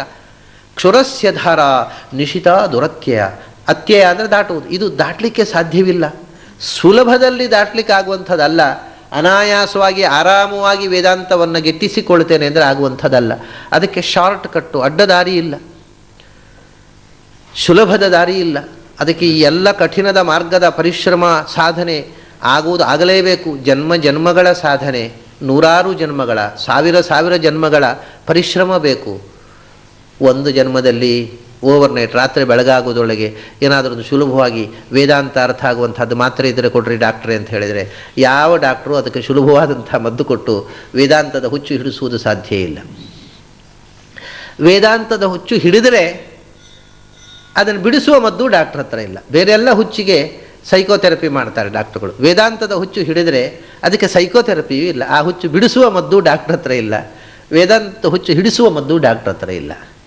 ಆದ್ದರಿಂದ ನಾನು ರಾಮಚಂದ್ರ ಭಟ್ರ ಕಥೆ ಹೇಳಿರಬೇಕು ಅವರಿಗೆ ರಾಮಚಂದ್ರ ಭಟ್ರು ಆತ್ಮಜ್ಞಾನಿಗಳು ಅಂತ ಅನ್ನೋದು ಬಹಳ ಜನರಿಗೆ ಗೊತ್ತಾಗಲಿಲ್ಲ. ಅವರು ಒಂಥರ ಹುಚ್ಚರ ಹಾಗೆ ಇದ್ದರು ಇದ್ದಾಗ ಊರಿನವರೆಲ್ಲ ಭಟ್ರಿಗೆ ಹುಚ್ಚು. ಅವರ ಮಗ ತಿಳ್ಕೊಂಡ ಅಪ್ಪನಿಗೆ ಹುಚ್ಚು, ಅವರ ಹೆಂಡತಿ ತಿಳ್ಕೊಂಡ್ರು ನಮ್ಮ ಯಜಮಾನರಿಗೆ ತಲೆ ಕೆಟ್ಟಿದೆ. ಎಲ್ಲರೂ ಹುಚ್ಚು ಅಂತ ತಿಳ್ಕೊಂಡ್ರು. ವೇದಾಂತ ಅಂದರೆ ಹುಚ್ಚೆ. ಇವತ್ತಾದರೂ ಅವನಿಗೆ ಬರೀ ಹುಚ್ಚು, ವೇದಾಂತ ಮಾತಾಡ್ತಾನೆ ಅಂತಾರೆ ಜನ. ಅದರಿಂದ ಹುಚ್ಚು ಅಂತ ತೀರ್ಮಾನ ಆಯಿತು. ಇವರಿಗೆಲ್ಲ ಬಂಧುಗಳಿಗೆ ನಮ್ಮ ಭಟ್ಟರಿಗೆ ಹುಚ್ಚು ಹಿಡಿತಲ್ಲ ಇವ್ರನ್ನ ಏನಾದರೂ ಮಾಡಿ ಗುಣ ಮಾಡಬೇಕು ಅಂತ ಬೆಂಗಳೂರಿಗೆ ಕರ್ಕೊಂಡು ಹೋದ್ರು ಅವ್ರನ್ನ. ಸೈಕೋಥೆರಪಿ ಸೈಕ್ಯಾಟ್ರಿಸ್ಟ್ ಹತ್ರ ಕರ್ಕೊಂಡು ಹೋದರು. ಕರ್ಕೊಂಡು ಹೋದ ಕೂಡಲೇ ಅವನು ಕೂಡಿಸಿದರು ಡಾಕ್ಟ್ರ್ ಎದುರು. ನಿಮ್ಮ ಹೆಸರೇನು ಅಂತ ಕೇಳಿದರು ಡಾಕ್ಟ್ರು. ನಮಗೆ ಹೆಸರಿಲ್ಲ ಅಂದರೆ ಇವರು. ಓ ಇದು ಭಾರಿ ಹುಚ್ಚು ಇದು. ಇದು ಸಾಧಾರಣ ಹುಚ್ಚಲ್ಲ. ಇದು ಪಕ್ಕ ಕೂಡ ಆಗುವಂಥದ್ದಲ್ಲ ಇವನು ಮೂರು ತಿಂಗಳಾದರೂ ಬೇಕು. ಇವ್ರನ್ನ ಅಡ್ಮಿಟ್ ಮಾಡಿ ಅಂದರು ಡಾಕ್ಟ್ರು ಇದು ಸಾಮಾನ್ಯದ ಹುಚ್ಚಲ್ಲ. ಇದು ಭಯಾನಕವಾದ ಹುಚ್ಚು ಅಂತ. ಡಾಕ್ಟರ್ ಇಮಿಡಿಯೇಟು ಸರಿ ಅವರೊಂದು ಕೋಣೆ ಸೇರಿಸಿದರು. ಇವರು ಅಬ್ಸರ್ವ್ ಮಾಡ್ತಾ ಇದ್ದರು ಡಾಕ್ಟ್ರು ಮೂರೇ, ಮೂರು ತಿಂಗಳು ಇರಬೇಕು ಅಂತ ಹೇಳಿದರು. ಮೂರನೇ ದಿವಸ ಹೇಳಿದರು, ನಮ್ಮ ಮೆಡಿಕಲ್ ಸೈನ್ಸಿನ ಪ್ರಕಾರ, ನಮ್ಮ ಸೈಕಾಲಜಿ ಪ್ರಕಾರ, ಅವರಿಗೆ ಹುಚ್ಚಿಲ್ಲ ಆದ್ದರಿಂದ ಇದು ಯಾವ ಹುಚ್ಚು ಅಂತ ನನಗೆ ಗೊತ್ತಿಲ್ಲ. ನೀವು ಇವನು ದಯವಿಟ್ಟು ಕರ್ಕೊಂಡು ಹೋಗಿ ಅಂತ ಹೇಳಿದರು. ಮೂರು ದಿವಸನೇ ಮನೆ ಕಳಿಸಿಕೊಟ್ರು ಡಾಕ್ಟ್ರು. ಇದು ನಮಗೆ ಟ್ರೀಟ್ಮೆಂಟ್ ಮಾಡಲಿಕ್ಕೆ ಆಗುವ ಹುಚ್ಚಲ್ಲ. ನಮ್ಮ ಪ್ರಕಾರ ಕರೆಕ್ಟ್ ಇದ್ದಾರೆ ಅವರು. ನಮ್ಮ ಎಲ್ಲ ಡಯಾಗ್ನೋಸ್ ಮಾಡಿ he is perfectly mentally he is perfectly all right ಆದರೆ ನೀವು ಹುಚ್ಚು ಅಂತ ಹೇಳ್ತೀರಿ. ನಮಗೆ ಏನು ಅಂತ ಅರ್ಥವಾಗುವುದಿಲ್ಲ ನೀವು ಕರ್ಕೊಂಡು ಹೋಗ್ರಿ ಅಂತ ಹೇಳಿದ್ರು. ಹಾಗೆ ಇದು ವೈದ್ಯರಿಗೆ, ಇದು ಭವರೋಗ ವೈದ್ಯನ ಹುಚ್ಚಲ್ವ? ಸಾಧಾರಣ ವೈದ್ಯರಿಗೆ ಪರಿಹಾರ ಮಾಡಲಿಕ್ಕೆ ಬರುವಂತಹ ಹುಚ್ಚು ಅಲ್ಲ. ಇದನ್ನು ಹಿಡಿಸ್ಲಿಕ್ಕೂ ಬರುವುದಿಲ್ಲ, ಬಿಡಿಸ್ಲಿಕ್ಕೂ ಬರುವುದಿಲ್ಲ. ಆದರೆ ಹಿಡಿದರೆ ಬಿಡ್ಲಿಕ್ಕೆ ಆಗೋದಿಲ್ಲ. ಬಿಟ್ಟರೆ ಹಿಡೀಲಿಕ್ಕೆ ಆಗೋದಿಲ್ಲ. ಅದು ಹಿಡಿಯೋದೇ ಬೇಡ ಅಂತ ಕಾಣುತ್ತೆ ಬಿಟ್ಟ ಯಾಕೆ ಅದನ್ನು ಹಿಡಿಯೋ ಸುಮ್ಮನೆ ರಗಳೆ ತಾಪತ್ರೆ ಅಂತ.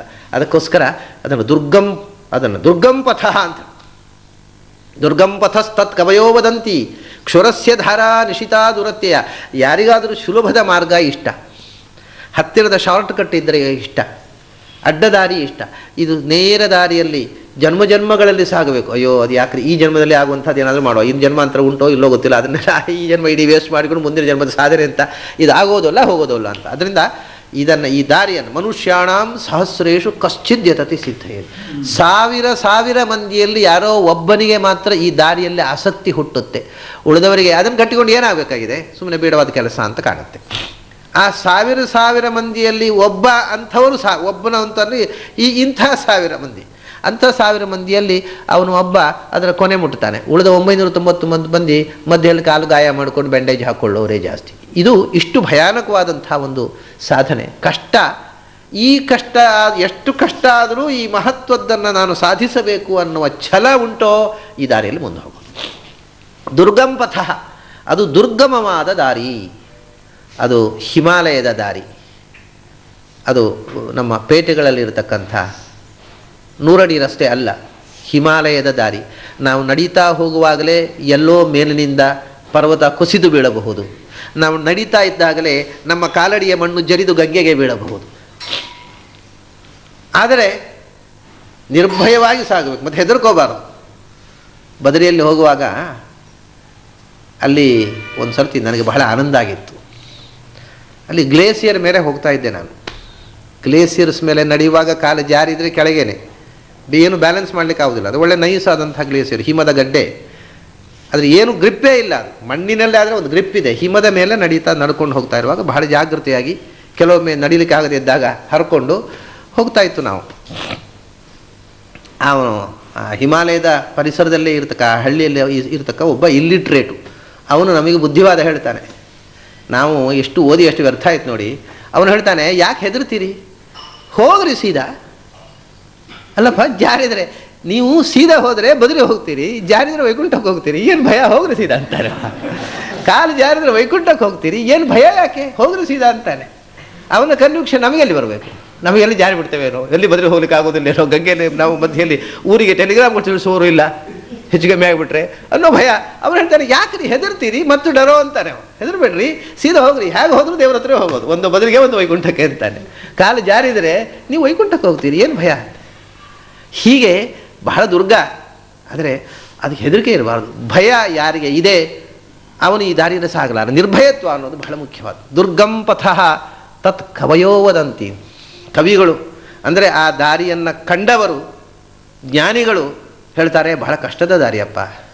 ನೀನು ಆ ಕಷ್ಟವನ್ನು ಅನುಭವಿಸಲಿಕ್ಕೆ mentally be prepared to suffer ಮಾನಸಿಕವಾಗಿ ಅದಕ್ಕೆ ಸಿದ್ಧತೆ ಇಲ್ಲದೆ ನೀನು ಈ ದಾರಿಯಲ್ಲಿ ಇಳಿದ್ರೆ ಮಧ್ಯೆಯಲ್ಲೇ ಬೇಡ ಅಂತ ಕಂಡು ಅರ್ಧ ದಾರಿಯಲ್ಲಿ ಕೈ ಬಿಡ್ತೀಯಾ? ವೇಸ್ಟ್ ಆಗಿಬಿಡುತ್ತೆ ಅಂದ ಕನ್ವಿಕ್ಷನ್ ಬೇಕು. ಆ ಹಠ, ಆ ಛಲ ಇಲ್ಲದೆ ಇದ್ದವರಿಗೆ ಈ ದಾರಿ ಹೇಳಿದ್ದಲ್ಲ. ಅಂತ ಇದು ವೇದ ಪುರುಷ ಹೇಳಿದ ಸಂದೇಶವೂ ಇರಬಹುದು. ಅಥವಾ ನಚಿಕೇತನನ್ನು ಮುಖವಾಗಿಟ್ಟುಕೊಂಡು ಸಮಸ್ತ ಸಾಧಕರಿಗೆ ಬಹುವಚನದಲ್ಲಿ ಯಮ ಹೇಳಿದಂಥ ಮಾತು ಆಗಬಹುದು ಇಷ್ಟು ಹೇಳಿ ಉಪಸಂಹಾರ ಮಾಡ್ತಾನೆ. ಹಾಗಾದರೆ ಒಟ್ಟಿಗೆ ಆ ಭಗವಂತನ ಬಗ್ಗೆ ಸಾಧನೆ ಮಾಡಿ ಈ ಕತ್ತಿ ಅಲುಗಿನಿಂದ ನಡೆದು ಕಾಣುವಂಥದ್ದು ಯಾವುದು? ಅಶಬ್ದಮಸ್ಪರ್ಶಮರೂಪಂ ಅವ್ಯಯಂ ತಥಾ ಅರಸಂ ನಿತ್ಯಮಗಂಧವಚ್ಚಯತ್ ಅನಾದ್ಯನಂತಂ ಮಹತಃ ಪರಂ ಧ್ರುವಂ ನಿಚಾಯ್ಯತನ್ ಮೃತ್ಯುಮುಖಾತ್ ಪ್ರಮುಚ್ಯತೆ ನೀನು ಮೃತ್ಯುವಿನ ಮುಖದಿಂದ ಮೃತ್ಯುವಿನ ದವಡೆಯಿಂದ ತಪ್ಪಿಸಿಕೊಳ್ಳಬೇಕು। ನಚಿಕೇತ ಮೃತ್ಯುವಿನ ಹತ್ತಿರ ಬಂದದ್ದು ಯಾಕೆ ಅಂದರೆ, ನಿನ್ನ ಕೈಯಿಂದ ಪಾರಾಗುವ ವಿಧಾನ ಹೇಳು ಅಂತ ಕೇಳಿದ ನೋಡಿ, ಅದು ಬಹಳ ಮಹತ್ವದ್ದು. ನಚಿಕೇತ ಹೋಗಿ ಯಮನ ಹತ್ರ ಕೇಳಿದ್ದೇನು ಅಂದರೆ ಇನ್ನೊಮ್ಮೆ ನಿನ್ನ ಹತ್ರ ಬರಬಾರ್ದು ಅಂತ ವಿಧಾನ ಹೇಳು ಅಂತ. ಅದು ಬಹಳ ಸಂತೋಷ ಆಯ್ತು ಅಮ್ಮನಿಗೆ. ಎಲ್ಲರೂ ಮತ್ತೆ ಮತ್ತೆ ನನ್ನ ಹತ್ರ ಬಂದು ಹೋಗಿ ಪುನಃ ನನ್ನ ಹತ್ರ ಬರ್ತಾರೆ. ನೀನು ಒಬ್ಬರೇ ಕೇಳಿದೆಯಪ್ಪ ಈ ಪ್ರಶ್ನೆ. ನಿನ್ನ ಹತ್ರ ಬಾರದಂತಹ ವಿಧಾನ ಹೇಳುವಂತ ನನ್ನ ಹತ್ರವೇ ಕೇಳಿದೆಯಲ್ಲ ಅಂತ. ಅದು ಆಶ್ಚರ್ಯ ಆಗತ್ತೆ ಅವನಿಗೆ ಅವನು ಹೇಳ್ತಾನೆ ಮೃತ್ಯು ಮುಖಾತ್ ಪ್ರಮುಚ್ಯತೆ. ಮತ್ತೆ ಮರಳಿ ನನ್ನ ಬಳಿಗೆ ಬಾರದೇ ಇರಬೇಕಾಗಿದ್ದರೆ. ಇಲ್ಲಿ ಮೃತ್ಯು ಅಂದರೆ ಯಮ ಅಂತ ಅಷ್ಟೇ ಅರ್ಥ ಅಲ್ಲ. ಸಂಸಾರ. ಮೃತ್ಯು ಮುಖ ಅಂದರೆ ಸಂಸಾರ. ಒಟ್ಟು ಸಂಸಾರದಲ್ಲಿ ಹುಟ್ಟು ಸಾವುಗಳಿಗೆ ಒಳಗಾಗದೇ ಇರಬೇಕಾಗಿದ್ದರೆ ತಿಳ್ಕೊಳ್ಬೇಕಾದ್ದು ಯಾವುದು ಅಂದರೆ ಅದು ಅಶಬ್ದಂ, ಅಸ್ಪರ್ಶಂ, ಅರೂಪಂ, ಅವ್ಯಯಂ ತಥಾ ಅರಸಂ ನಿತ್ಯಂ ಮಗಂಧವಚ್ಚೇತ್ ಅದು ಅಪ್ರಾಕೃತ. ಹಿಂದೆ ಹೇಳಿದ್ದನ್ನು ಅದು ಮುಖ್ಯವಾಗಿ ತಿಳ್ಕೊಳ್ಬೇಕು. ಅದು ಭಗವಂತ ನಮ್ಮ ಪ್ರಾಕೃತವಾದ ಮನಸ್ಸಿಗೆ ಕಾಣುವವನಲ್ಲ. ಅದರಿಂದ ಸಾಕ್ಷಾತ್ಕಾರ, ಧ್ಯಾನದಲ್ಲಿ ಕೂಡ ಮಾನಸಿಕ ಸಾಕ್ಷಾತ್ಕಾರ ಸಾಧ್ಯ ಇಲ್ಲ ಹೇಳುವುದನ್ನು ಒತ್ತು ಕೊಡೋದಕ್ಕೋಸ್ಕರ ಉಪಸಂಹಾರ ಹೇಳ್ತಾನೆ ನೋಡಿ. ಅವನು ಅಶಬ್ದಂ. ಶಬ್ದ ಇಲ್ಲ ಅವನಲ್ಲಿ. ಶಬ್ದ ಇಲ್ಲ ಅದರಿಂದ ಅವನು ಆಕಾಶ ಅಲ್ಲ. ಅವನ ಅಸ್ಪರ್ಶಂ, ಸ್ಪರ್ಶ ಅನ್ನುವ ಗುಣ ಅವನಲ್ಲಿ ಇಲ್ಲ. ಅದರಿಂದ ಅವನು ಗಾಳಿ ಅಲ್ಲ. ಶಬ್ದ ಇರುವುದು ಆಕಾಶದಲ್ಲಿ, ಸ್ಪರ್ಶ ಇರುವುದು ಗಾಳಿಯಲ್ಲಿ. ಅರೂಪಂ, ರೂಪ ಇಲ್ಲ ಅವನಲ್ಲಿ. ಅದರಿಂದ ಅವನು ಬೆಂಕಿ ಅಲ್ಲ. ಅರಸಂ, ರಸ ಇಲ್ಲ ಅವನಲ್ಲಿ. ಅದರಿಂದ ಅವನು ನೀರಲ್ಲ. ಇದೆಲ್ಲ ಪಂಚಭೂತಗಳ ಗುಣಗಳು. ಅಗಂಧವತ್ತು, ಗಂಧ ಇಲ್ಲ ಅವನಲ್ಲಿ. ಅದರಿಂದ ಅವನು ಮಣ್ಣಲ್ಲ. ಅರ್ಥಾತ್ ಮಣ್ಣು, ನೀರು, ಬೆಂಕಿ, ಗಾಳಿ, ಆಕಾಶ. ಪಂಚಭೂತಗಳ ಏನು ಗುಣಗಳಿವೆ? ಅವು ಯಾವುವೂ ಅವನಲ್ಲಿಲ್ಲ. ಕಾರಣ ಪಾಂಚಭೌತಿಕವಾದ ಶರೀರ ಅವನದ್ದಲ್ಲ, ಅವನು ಅಪ್ರಾಕೃತ, ಇದು ಒಂದು ಮುಖ. ಇನ್ನೊಂದು ಮುಖ ಇದೆ ಅದಕ್ಕೆ, ಅಶಬ್ದಂ, ಅವನು ಶಬ್ದದಿಂದ ತಿಳಿಯಲ್ಪಡತಕ್ಕ ವಸ್ತು ಅಲ್ಲ. ಯಾವುದೇ ಶಬ್ದದಿಂದ, ಅಂದರೆ ಮಾತಿನ ಮೂಲಕ, ಶಬ್ದದ ಮೂಲಕ ಅವನನ್ನು ಪರಿಚಯಿಸುವುದು ಸಾಧ್ಯ ಇಲ್ಲ. ಯಾವ ಶಬ್ದವೂ ಕೂಡ ಅವನನ್ನು ಪರಿಚಯಿಸಲಾರದು ಇದು ವಿಚಿತ್ರ ಅಲ್ವಾ? ಎಲ್ಲ ಶಬ್ದಗಳೂ ಅವನ ಹೆಸರು, ಆದರೆ ಯಾವ ಶಬ್ದವೂ ಅವನನ್ನು ಪರಿಚಯಿಸಲಾರದು. ಬಹಳ ವಿಚಿತ್ರವಾದಂಥ ಒಂದು ಮಾತಿದು. ಎಲ್ಲ ಶಬ್ದವೂ ದೇವರ ನಾಮ, ಆದರೆ ಯಾವ ಶಬ್ದವೂ ಅವನನ್ನು ಪರಿಚಯಿಸುವುದಿಲ್ಲ. ಕಾರಣ ಏನು ಗೊತ್ತೋ? ಶಬ್ದ ಪರಿಚಯಿಸುವುದು ಅಂದರೆ ಏನು? ಶಬ್ದ ಯಾವಾಗಲೂ ನಮಗೆ ಗೊತ್ತಿದ್ದದ್ದನ್ನು ಪರಿಚಯಿಸಿಕೊಡುವುದು ಅಷ್ಟೇ. ಗೊತ್ತಿಲ್ಲದೇ ಇದ್ದದ್ದನ್ನು ಯಾವ ಶಬ್ದವೂ ಪರಿಚಯಿಸುವುದಿಲ್ಲ. ಈಗ ಒಬ್ಬ ವ್ಯಕ್ತಿಯ ಹೆಸರು. ಹೌದು, ಆ ವ್ಯಕ್ತಿಯ ಹೆಸರು ನಾಮಕರಣ, ತಂದೆ ತಾಯಿ ಇಟ್ಟದ್ದು. ನನಗೆ ಗೊತ್ತಿಲ್ಲದೇ ಇದ್ದರೆ ಆ ಶಬ್ದ ಹೇಳಿದೆ ಪರಿಚಯ ಆಗುತ್ತಾ? ನಿಮ್ಮ ಹೆಸರು ಏನು ಅಂತ ಅನ್ನೋದು ನನಗೆ ಗೊತ್ತಿದ್ದಾಗ ಮಾತ್ರ ಆ ಹೆಸರಿನಿಂದ ಕರೆದಾಗ ನೀವು ಅಂತ ನನಗೆ ಅರ್ಥ ಆಗುವುದು ಆ ಹೆಸರು ಗೊತ್ತಿಲ್ಲದೆ ಇದ್ದರೆ ಯಾರ್ರಿ ಹಾಗಂದರೆ? ಅಷ್ಟೇ. ಅದರಿಂದ ಯಾವ ಶಬ್ದದಿಂದಲೂ ನಮಗೆ ಯಾವ ವಸ್ತುವಿನ ಬೋಧವೂ ಆಗುವುದಿಲ್ಲ. ಆ ವಸ್ತು ಪರಿಚಯ ಆಗಿದ್ದರೆ ಆ ಶಬ್ದ, ಆ ವಸ್ತುವಿನ ಹೆಸರು ಅನ್ನೋದು ಗೊತ್ತಿದ್ದರೆ ಆ ವಸ್ತುವಿನ ಪರಿಚಯ, ಆಮೇಲೆ ಬೋಧ ಆಗುತ್ತೆ. ಇಷ್ಟೇ. ಆದ್ದರಿಂದ ಭಗವಂತನ ಪರಿಚಯ ಇದ್ದವರಿಗೆ ಎಲ್ಲ ಶಬ್ದವೂ ಭಗವಂತನ ಹೆಸರು. ಪರಿಚಯ ಇಲ್ಲದೆ ಇದ್ದವರಿಗೆ ಯಾವ ಶಬ್ದದಿಂದಲೂ ಭಗವಂತನ ಬೋಧ ಆಗುವುದಿಲ್ಲ? ಅವನ ಅಶಬ್ದಂ. ಯಾವ ಶಬ್ದ ಹೇಳಿದರೂ ಒಂದೇ. ಅದು ಎಂಥದ್ದು ನನಗೆ ಗೊತ್ತಿಲ್ಲ ಸ್ವಾಮಿ. ನೀವು ಬರೀ ಶಬ್ದ ಆಯ್ತದು. ವಿಷಯ ಗೊತ್ತಿರಬೇಕಲ್ಲ. ಒಂದು ವಸ್ತುವಿನ ಪರಿಚಯ ಇಲ್ಲದೆ ಇದ್ದವನಿಗೆ ಎಷ್ಟು ಶಬ್ದದಿಂದ ಬೇಕಾದ್ರೆ ಹೇಳ್ರಿ. ಆ ವಸ್ತು ಪರಿಚಯ ಆಗುವುದಿಲ್ಲ. ಹುಲಿಯನ್ನು ಅಥವಾ ಆನೆಯನ್ನು ಕಾಣದ ಒಂದು ಮಗು, ಹುಲಿ ಅಂದರೆ ಏನು ಅಂತ ಕೇಳುತ್ತೆ. ಏನು ಹೇಳಬೇಕು ಹುಲಿ ಅಂದರೆ ಏನು ಅಂತ? ಅದು ಕಾಡಿನಲ್ಲಿರುತ್ತೆ. ಅಲ್ಲ, ಕಾಡಿನಲ್ಲಿ ತುಂಬ ಪ್ರಾಣಿಗಳಿವೆ. ಅದು ಒಳ್ಳೆ ಬಲಿಷ್ಠವಾಗಿರುತ್ತೆ. ಬಲಿಷ್ಠವಾದ್ದು ತುಂಬ ಪ್ರಾಣಿಗಳಿವೆ. ಅದಕ್ಕೆ ಮೈಯಲ್ಲೆಲ್ಲ ಪಟ್ಟೆ ಇರುತ್ತೆ. ಹಾಗಂದರೆ ಏನು ಅಂತ ಹೇಳಿದ್ರೆ, ಅಂದರೆ ಹುಲಿಯನ್ನು ಕಾಣೋ ತನಗೆ ನೀವು ಏನು ಎಕ್ಸ್ಪ್ಲನೇಷನ್ ಕೊಟ್ಟರು it is mere verbal explanation ಅದಕ್ಕೆ ವಿಶುವಲ್ ಇಫೆಕ್ಟ್ ಇಲ್ಲ. ಆ ವಸ್ತು ಕಾಣುವುದಿಲ್ಲ ಕಣ್ಣಿಗೆ. ಆನೆಯನ್ನು ಹುಲಿಯನ್ನು ಕಂಡ ಮೇಲೆಯೇ ಇದು ಆನೆ ಹೇಳಿದ ಕೂಡಲೇ ಆ ವಸ್ತುವನ್ನು ನೆನಪಾಗ್ತದೆ. ಅದು ನಮಗೆ ಪರಿಚಿತವಾದ ವಸ್ತುವನ್ನು ಶಬ್ದ ನೆನಪಿಸುತ್ತದೆ ಹೊರತು ಅಪರಿಚಿತವಾದ ವಸ್ತುವನ್ನು ಶಬ್ದ ಪರಿಚಯಿಸುವುದಿಲ್ಲ. ಆದ್ದರಿಂದ ಭಗವಂತ ಅಪರಿಚಿತರಾಗುವ ತನಕ ಯಾವ ಶಬ್ದವೂ ಅವನನ್ನು ಪರಿಚಯಿಸುವುದಿಲ್ಲ. ಅವನ ಪರಿಚಯ ಆದಮೇಲೆ ಎಲ್ಲ ಶಬ್ದವೂ ಅವನದ್ದೇ ಹೆಸರು. ಅಶಬ್ದಂ ಶಬ್ದದಿಂದ ತಿಳಿಯಲ್ಪಡುವ ವಸ್ತುವಲ್ಲ. ಅಸ್ಪರ್ಶಂ ಮುಟ್ಟಿ ತೋರಿಸಲಿಕ್ಕೆ ಆಗುವಂಥದ್ದಲ್ಲ. ಗಾಳಿ ಈಗ ಆಕಾಶ ಆದರೆ ಆಯಿತು, ಶಬ್ದ, ಗಾಳಿಯನ್ನು ಕಣ್ಣಿಗೆ ಕಾಣೋದಿಲ್ಲ ಅದು ನೋಡಪ್ಪ, ನೋಡು, ಗಾಳಿ ಬೀಸ್ತಾ ಇದೆ. ಮೈಗೆ ರುಮು ಗಾಳಿ ತಾಗೋದಿಲ್ಲ ತಂಪಾದ ಗಾಳಿ, ಚಳಿಗಾಳಿ, ಬಿಸಿಗಾಳಿ ಬಿಸಿ ಗಾಳಿ ಅಂತೇವೆ ಸ್ಪರ್ಶದ ಅನುಭವದಿಂದ ತಿಳಿಸಲಿಕ್ಕೆ ಆಗೋದಿಲ್ಲ ಆಮೇಲೆ, ಅಥವಾ ಕಣ್ಣಿಗೆ ತೋರಿಸಿ, ನೋಡು, ಇದು ದೇವರು ಅಂದರೆ ಇದು ಅಂತ ಜುಟ್ಟು ಹಿಡಿದು ಇದನ್ನು ಹಿಡ್ಕೊಂಡು ನೋಡು, ಇದು ದೇವರು ಅಂತ ಅವನು ಜುಟ್ಟು ಹಿಡಿದ ಮೇಲೆ ಎತ್ತಿ ತೋರಿಸ್ಲಿಕ್ಕೆ ಬರುತ್ತೋ? ನಮ್ಮ ಕಣ್ಣಿಗೆ ಕಾಣುವ ರೂಪ ಅಲ್ಲಿ ಇಲ್ಲ. ಅದು ಅಪ್ರಾಕೃತ ರೂಪ. ಆದ್ದರಿಂದಲೇ ಅದು ಅವ್ಯಯಂ ಅಂದರು. ಈ ರೂಪ, ಈ ಶಬ್ದ, ಈ ಸ್ಪರ್ಶ, ಈ ರಸ ಎಲ್ಲ ಇದ್ದಿದ್ದರೆ ಈ ಶಬ್ದ, ಸ್ಪರ್ಶ ರೂಪರಸ ಗಂಧಗಳಿಗೆ ಒಳಗಾಗಿರ್ತಕ್ಕ ವಸ್ತುಗಳೆಲ್ಲ ಏರುಪೇರಾಗಿ ಬದಲಾಗುವಂಥವುಗಳು. ಒಂದೇ ರೀತಿ ಇರೋದಿಲ್ಲ. ಯಾವ ವಸ್ತುವೇ ಆದರೂ ಇವತ್ತಿದ್ದ ಹಾಗೆ ನಾಳೆ ಇರುವುದಿಲ್ಲ ಬದಲಾಗ್ತಾ ಇರ್ತದೆ. ಮತ್ತು ಒಂದು ದಿವಸ ನಾಶವಾಗ್ತದೆ. ಪಂಚಭೂತಗಳಿಂದ ನಿರ್ಮಿತವಾದ ಯಾವ ವಸ್ತುವೂ ಕೂಡ ಒಂದೇ ರೀತಿಯೂ ಇರುವುದಿಲ್ಲ ಮತ್ತು ಶಾಶ್ವತವಾಗಿಯೂ ಇರೋದಿಲ್ಲ ಅದು. ನಾಶವಾಗುವಂಥದ್ದು. ಇವನು ಬದಲಾಗುವ ವಸ್ತುವೂ ಅಲ್ಲ, ನಾಶವಾಗುವ ವಸ್ತುವೂ ಅಲ್ಲ ಆದ್ದರಿಂದ ಶಬ್ದಸ್ಪರ್ಶ ರೂಪರಸಗಂಧಗಳ ಸಂಪರ್ಕದಿಂದ ಆಗಿರತಕ್ಕಂಥ ಫಾರ್ಮ್ ಅವನಿಗೆ ಇರುವುದು ಸಾಧ್ಯ ಇಲ್ಲ. ಅವ್ಯಯಂ ತಥಾ ಅರಸಂ. ದೇವರನ್ನ ರುಚಿ ನೋಡ್ಲಿಕ್ಕೆ ಬರುತ್ತಾ? ನೋಡ್ಲಿಕ್ಕೆ ಬರುತ್ತೆ. ಯಾವಾಗ? ತಿಂಡಿ ಒಳಗೂ ದೇವರಿದ್ದಾನೆ ಅಂತ ಗೊತ್ತಾದಾಗ. ಇಲ್ಲದ್ರೆ ತಿಂಡಿ ನೋಡಿದ್ರೆ ಏನದು? ತಿಂಡಿ ಅಂದರೆ ತಿಂಡಿ ಅಷ್ಟೇ. ದೇವರೇನು? ನಾಲಿಗೆಗೆ ತಿಂಡಿಯ ರುಚಿ ಗೊತ್ತಾಯ್ತು. ದೇವ್ರ ರುಚಿ ಹೇಗೆ ಗೊತ್ತಾಗಬೇಕು? ಆಮೇಲೆ ದೇವರನ್ನು ಮೂಸಿ ನೋಡಲಿಕ್ಕಾಗುತ್ತೋ? ಗಂಧ ಇಲ್ಲ. ಅಂದರೆ ಪಂಚಭೂತದ ಯಾವ ಗುಣಗಳೂ ಅವನಲ್ಲಿ ಇಲ್ಲ. ಗಂಧ ಇಲ್ಲದವ, ಗಂಧದ ಮೂಲಕ ತಿಳಿಯಲಾಗದವ. ರಸ ಇಲ್ಲದವ, ರಸದ ಮೂಲಕ ತಿಳಿಯಲಾಗದವ. ರೂಪ ಇಲ್ಲದವ, ತು ಕಣ್ಣಿನ ಮೂಲಕ ನೋಡಲಾಗದವ. ಸ್ಪರ್ಶ ಇಲ್ಲದವ, ತ್ವಗಿಂದ್ರಿಯದ ಮೂಲಕ ತಿಳಿಯಲಾಗದವ. ಶಬ್ದ ಇಲ್ಲದವ, ಯಾವ ಶಬ್ದದಿಂದಲೂ ವಾಚ್ಯನಾಗದವ. ಶಬ್ದದ ಮೂಲಕ ತಿಳಿಯಲಾಗದವ. ನಿತ್ಯಂ ಅಗಂಧವಚ್ಚಯತ್. ಆದ್ದರಿಂದಲೇ ಅವನು ಪಂಚಭೂತಗಳಿಂದ ಅತೀತನಾಗಿರುವುದರಿಂದ ಮತ್ತು ನಮ್ಮ ಎಲ್ಲ ಯೋಚನೆಗಳು ಈ ಪಂಚಭೂತದ ಒಳಗೆಯೇ ತಿರುಗುವುದರಿಂದ, ನಮ್ಮ ಮನಸ್ಸು ಕೂಡ ಪಂಚಭೂತಾತ್ಮಕ ಆದ್ದರಿಂದ, ಅದರಲ್ಲಿಯೂ ಕೂಡ ಮನಸ್ಸು ಇನ್ನೂ ಭಯಾನಕ, ಅದು ಪಂಚಭೂತಾತ್ಮಕವೂ ಅಲ್ಲ, ಮನಸ್ಸು ಪೃಥ್ವಿ ಸ್ವರೂಪ. ಅತ್ಯಂತ ಗ್ರಾಸ್, ನಾವು ಉಣ್ಣುವ ಆಹಾರದಲ್ಲಿ ಮನಸ್ಸಿಗೆ ಹೋಗತಕ್ಕಂಥದ್ದು ಪಾರ್ಥಿವಾಂಶ. ನಾವು ಉಣ್ಣುವ ಆಹಾರ ಅದರಲ್ಲಿ ಪಾರ್ಥಿವ ಅಂಶ ಏನಿದೆ? ಮಣ್ಣಿನ ಅಂಶ, ಅದು ಬ್ರೈನಿಗೆ ಹೋಗುವಂಥದ್ದು. ನೀರಿನ ಅಂಶ, ಅದು ಶ್ವಾಸಕ್ಕೆ ಹೋಗುವಂಥದ್ದು. ತೇಜಸ್ಸಿನ ಅಂಶ, ವಾಗಿಂದ್ರಿಯಕ್ಕೆ ಹೋಗುವಂಥದ್ದು. ಆದ್ದರಿಂದ ಪಂಚಭೂತಗಳಲ್ಲೂ ಅತ್ಯಂತ ಗ್ರಾಸ್ ಆಗಿರ್ತದೆ. ಗ್ರಾಸೆಸ್ಟ್ ಎಲಿಮೆಂಟ್ ಇದು, ಮನಸ್ಸು. ಬಹಳ ಸ್ಥೂಲ ಅದು. ಅದು ಸೂಕ್ಷ್ಮವಾಗಿರತಕ್ಕಂಥ ವಸ್ತುವನ್ನು ಹೇಗೆ ಗ್ರಹಣೆ ಮಾಡುವುದು? ಗ್ರಹಣ ಮಾಡಲಾರದು. ಆದರೆ ಪಂಚಭೂತಾತ್ಮಕವಾದದ್ದು ಎಲ್ಲವೂ ಪಂಚತ್ವವನ್ನು ಹೊಂದುವಂಥದ್ದು ಅನ್ನೋದು ಎರಡನೇ ಮಾತು. ಅಂದರೆ ನಾಶವಾಗುವಂಥದ್ದು. ಇವನು ಪಂಚಭೂತಾತ್ಮಕ ಅಲ್ಲದೇ ಇದ್ದದ್ದರಿಂದ ಇವನು ಅನಾದಿ ಅನಂತಂ ಅಂದರು. ಆದಿ ಇಲ್ಲದ, ಅಂತ ಇಲ್ಲದ ನಿತ್ಯ ತತ್ವ. ಮತ್ತು ಮಹತಃ ಪರಂ. ಮಹತ್ತತ್ವ ಅಂತ ಹಿಂದೆ ಹೇಳಿದ್ದಾರೆ. ಬ್ರಹ್ಮವಾಯುಗಳು ಮಹತ್ತತ್ವದ ಅಭಿಮಾನಿಗಳು.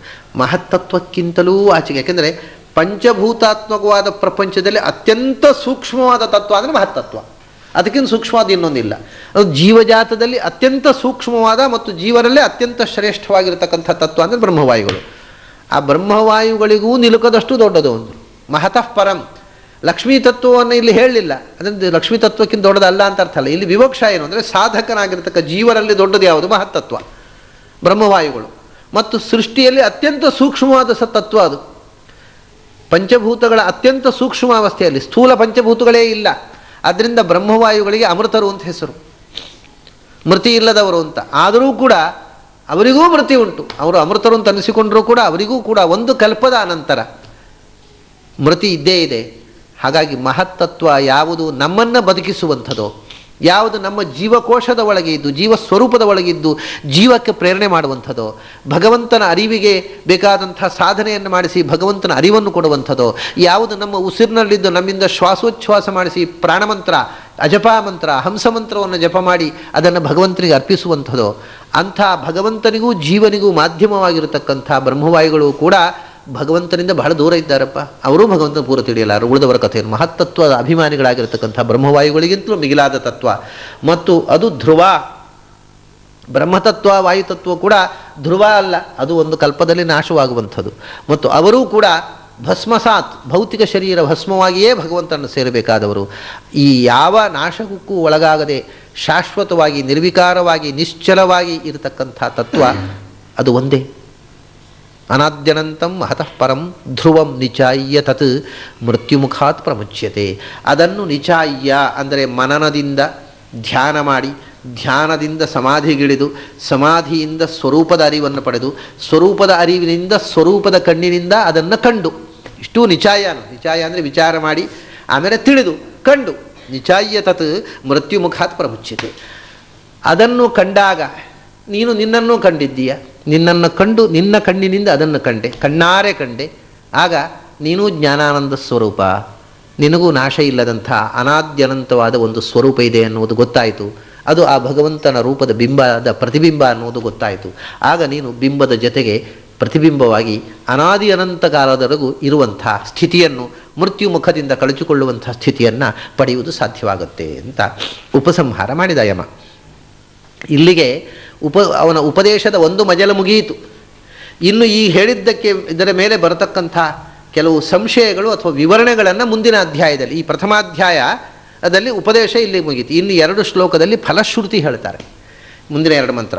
ನಾಚಿಕೇತಮುಪಾಖ್ಯಾನಂ ಮೃತ್ಯುಪ್ರೋಕ್ತಂ ಸನಾತನಂ ಉಕ್ತ್ವಾ ಶ್ರುತ್ವಾ ಚ ಮೇಧಾವಿ ಬ್ರಹ್ಮಲೋಕೆ ಮಹೀಯತೆ ಇದರ ಫಲ ಏನು ಅಂದರೆ, ನಾಚಿಕೇತಂ ಉಪಾಖ್ಯಾನಂ, ನಚಿಕೇತನಿಗೆ ಯಮ ಹೇಳಿದ ಉಪಾಖ್ಯಾನ.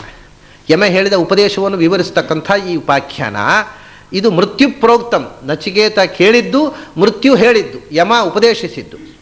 ನಾಚಿಕೇತಂ ಉಪಾಖ್ಯಾನಂ ಮೃತ್ಯು ಪ್ರೋಕ್ತಂ ಹಾಗಾದರೆ ಯಮ ನಚಿಕೇತನಿಗೆ ಹೇಳಿದ ನಂತರ ಹೊಸತಾಗಿ ಆವಿಷ್ಕಾರ ಆದಂಥ ವಿಷಯ ಇದು. ಅದಕ್ಕಿಂತ ಮುಂಚೆ ನಚಿಕೇತನಿಗಿಂತ ಮೊದಲು ಈ ವಿದ್ಯೆ ಇರಲಿಲ್ಲೇನು?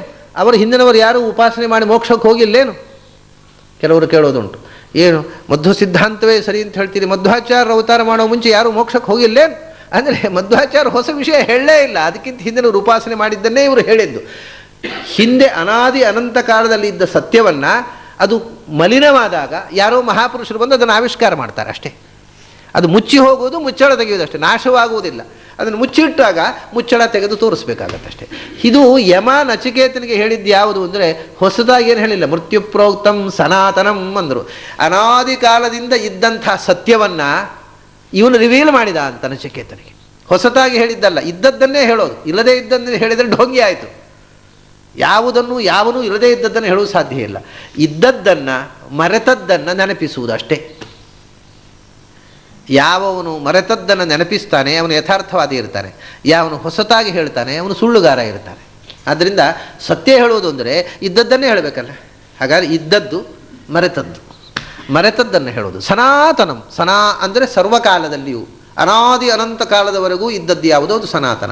ಎಂದೂ ಬದಲಾಗದ ಶಾಶ್ವತ ಸತ್ಯ ಯೂನಿವರ್ಸಲ್ ಟ್ರುತ್ ಇಟರ್ನಲ್ ಟ್ರುತ್ ಸನಾತನ ಅಂದರೆ ಇಟರ್ನಲ್ ಟ್ರುತ್ ಅಂತ ಅರ್ಥ. ಅದು ಎಂದೂ ನಾಶವಾಗದ, ಸದಾ ಇರತಕ್ಕಂಥ ಸತ್ಯ. ನಮ್ಮಲ್ಲಿ ಸತ್ಯಗಳಲ್ಲಿ ಎರಡಿದೆ. ಟೆಂಪರರಿ ಟ್ರುತ್ತು ಇಟರ್ನಲ್ ಟ್ರುತ್ತು ಅಂತ. ಅದು ಇವರು ಹೇಳೋದು ವ್ಯಾವಹಾರಿಕ ಸತ್ಯ ಅಂತ ಹೇಳ್ತಾರಲ್ಲ. ಅದಲ್ಲ ಟೆಂಪರರಿ ಟ್ರುತ್ ಅಂದರೆ ಇವತ್ತು ಇವತ್ತಿನ ದಿನಕ್ಕೆ ಬೇಕಾಗುವಂಥದ್ದು ಏನು? ಅವಶ್ಯಕತೆ, ನಾಳೆಗೆ ಅವಶ್ಯಕತೆ ಏನು? ನಾಡಿದ್ದಿಗೆ ಏನು? ಆಯಾ ಸಮಾಜದ ಸಾಮಾಜಿಕವಾದಂಥ ಆ ಪರಿಸ್ಥಿತಿಗೆ ತಕ್ಕಂತೆ ಬದಲಾಗುವ ಸತ್ಯಗಳಿವೆ. ಅವು ಇಟರ್ನಲ್ ಟ್ರುತ್ತುಗಳಲ್ಲ ಅವು, ಸಾಮಾಜಿಕ ಧರ್ಮಗಳು. ಆದರೆ ಭಗವಂತ ಅದು ಸಮಾಜ ಬದಲಾದ ಹಾಗೆ ದೇವರ ಕಾನ್ಸೆಪ್ಟ್ ಬದಲಾಗುವುದು ಸಾಧ್ಯ ಇಲ್ಲ. ಅದನ್ನ ಅದನ್ನು ಸನಾತನ ಧರ್ಮ ಅಂತ ಹೇಳ್ತಾರೆ. ಇದು ನಚಿಕೇತನಿಗೆ ಯಮ ಹೇಳಿರತಕ್ಕಂಥದ್ದು ಸ, ತಾತ್ಕಾಲಿಕ ಧರ್ಮ ಅಲ್ಲ.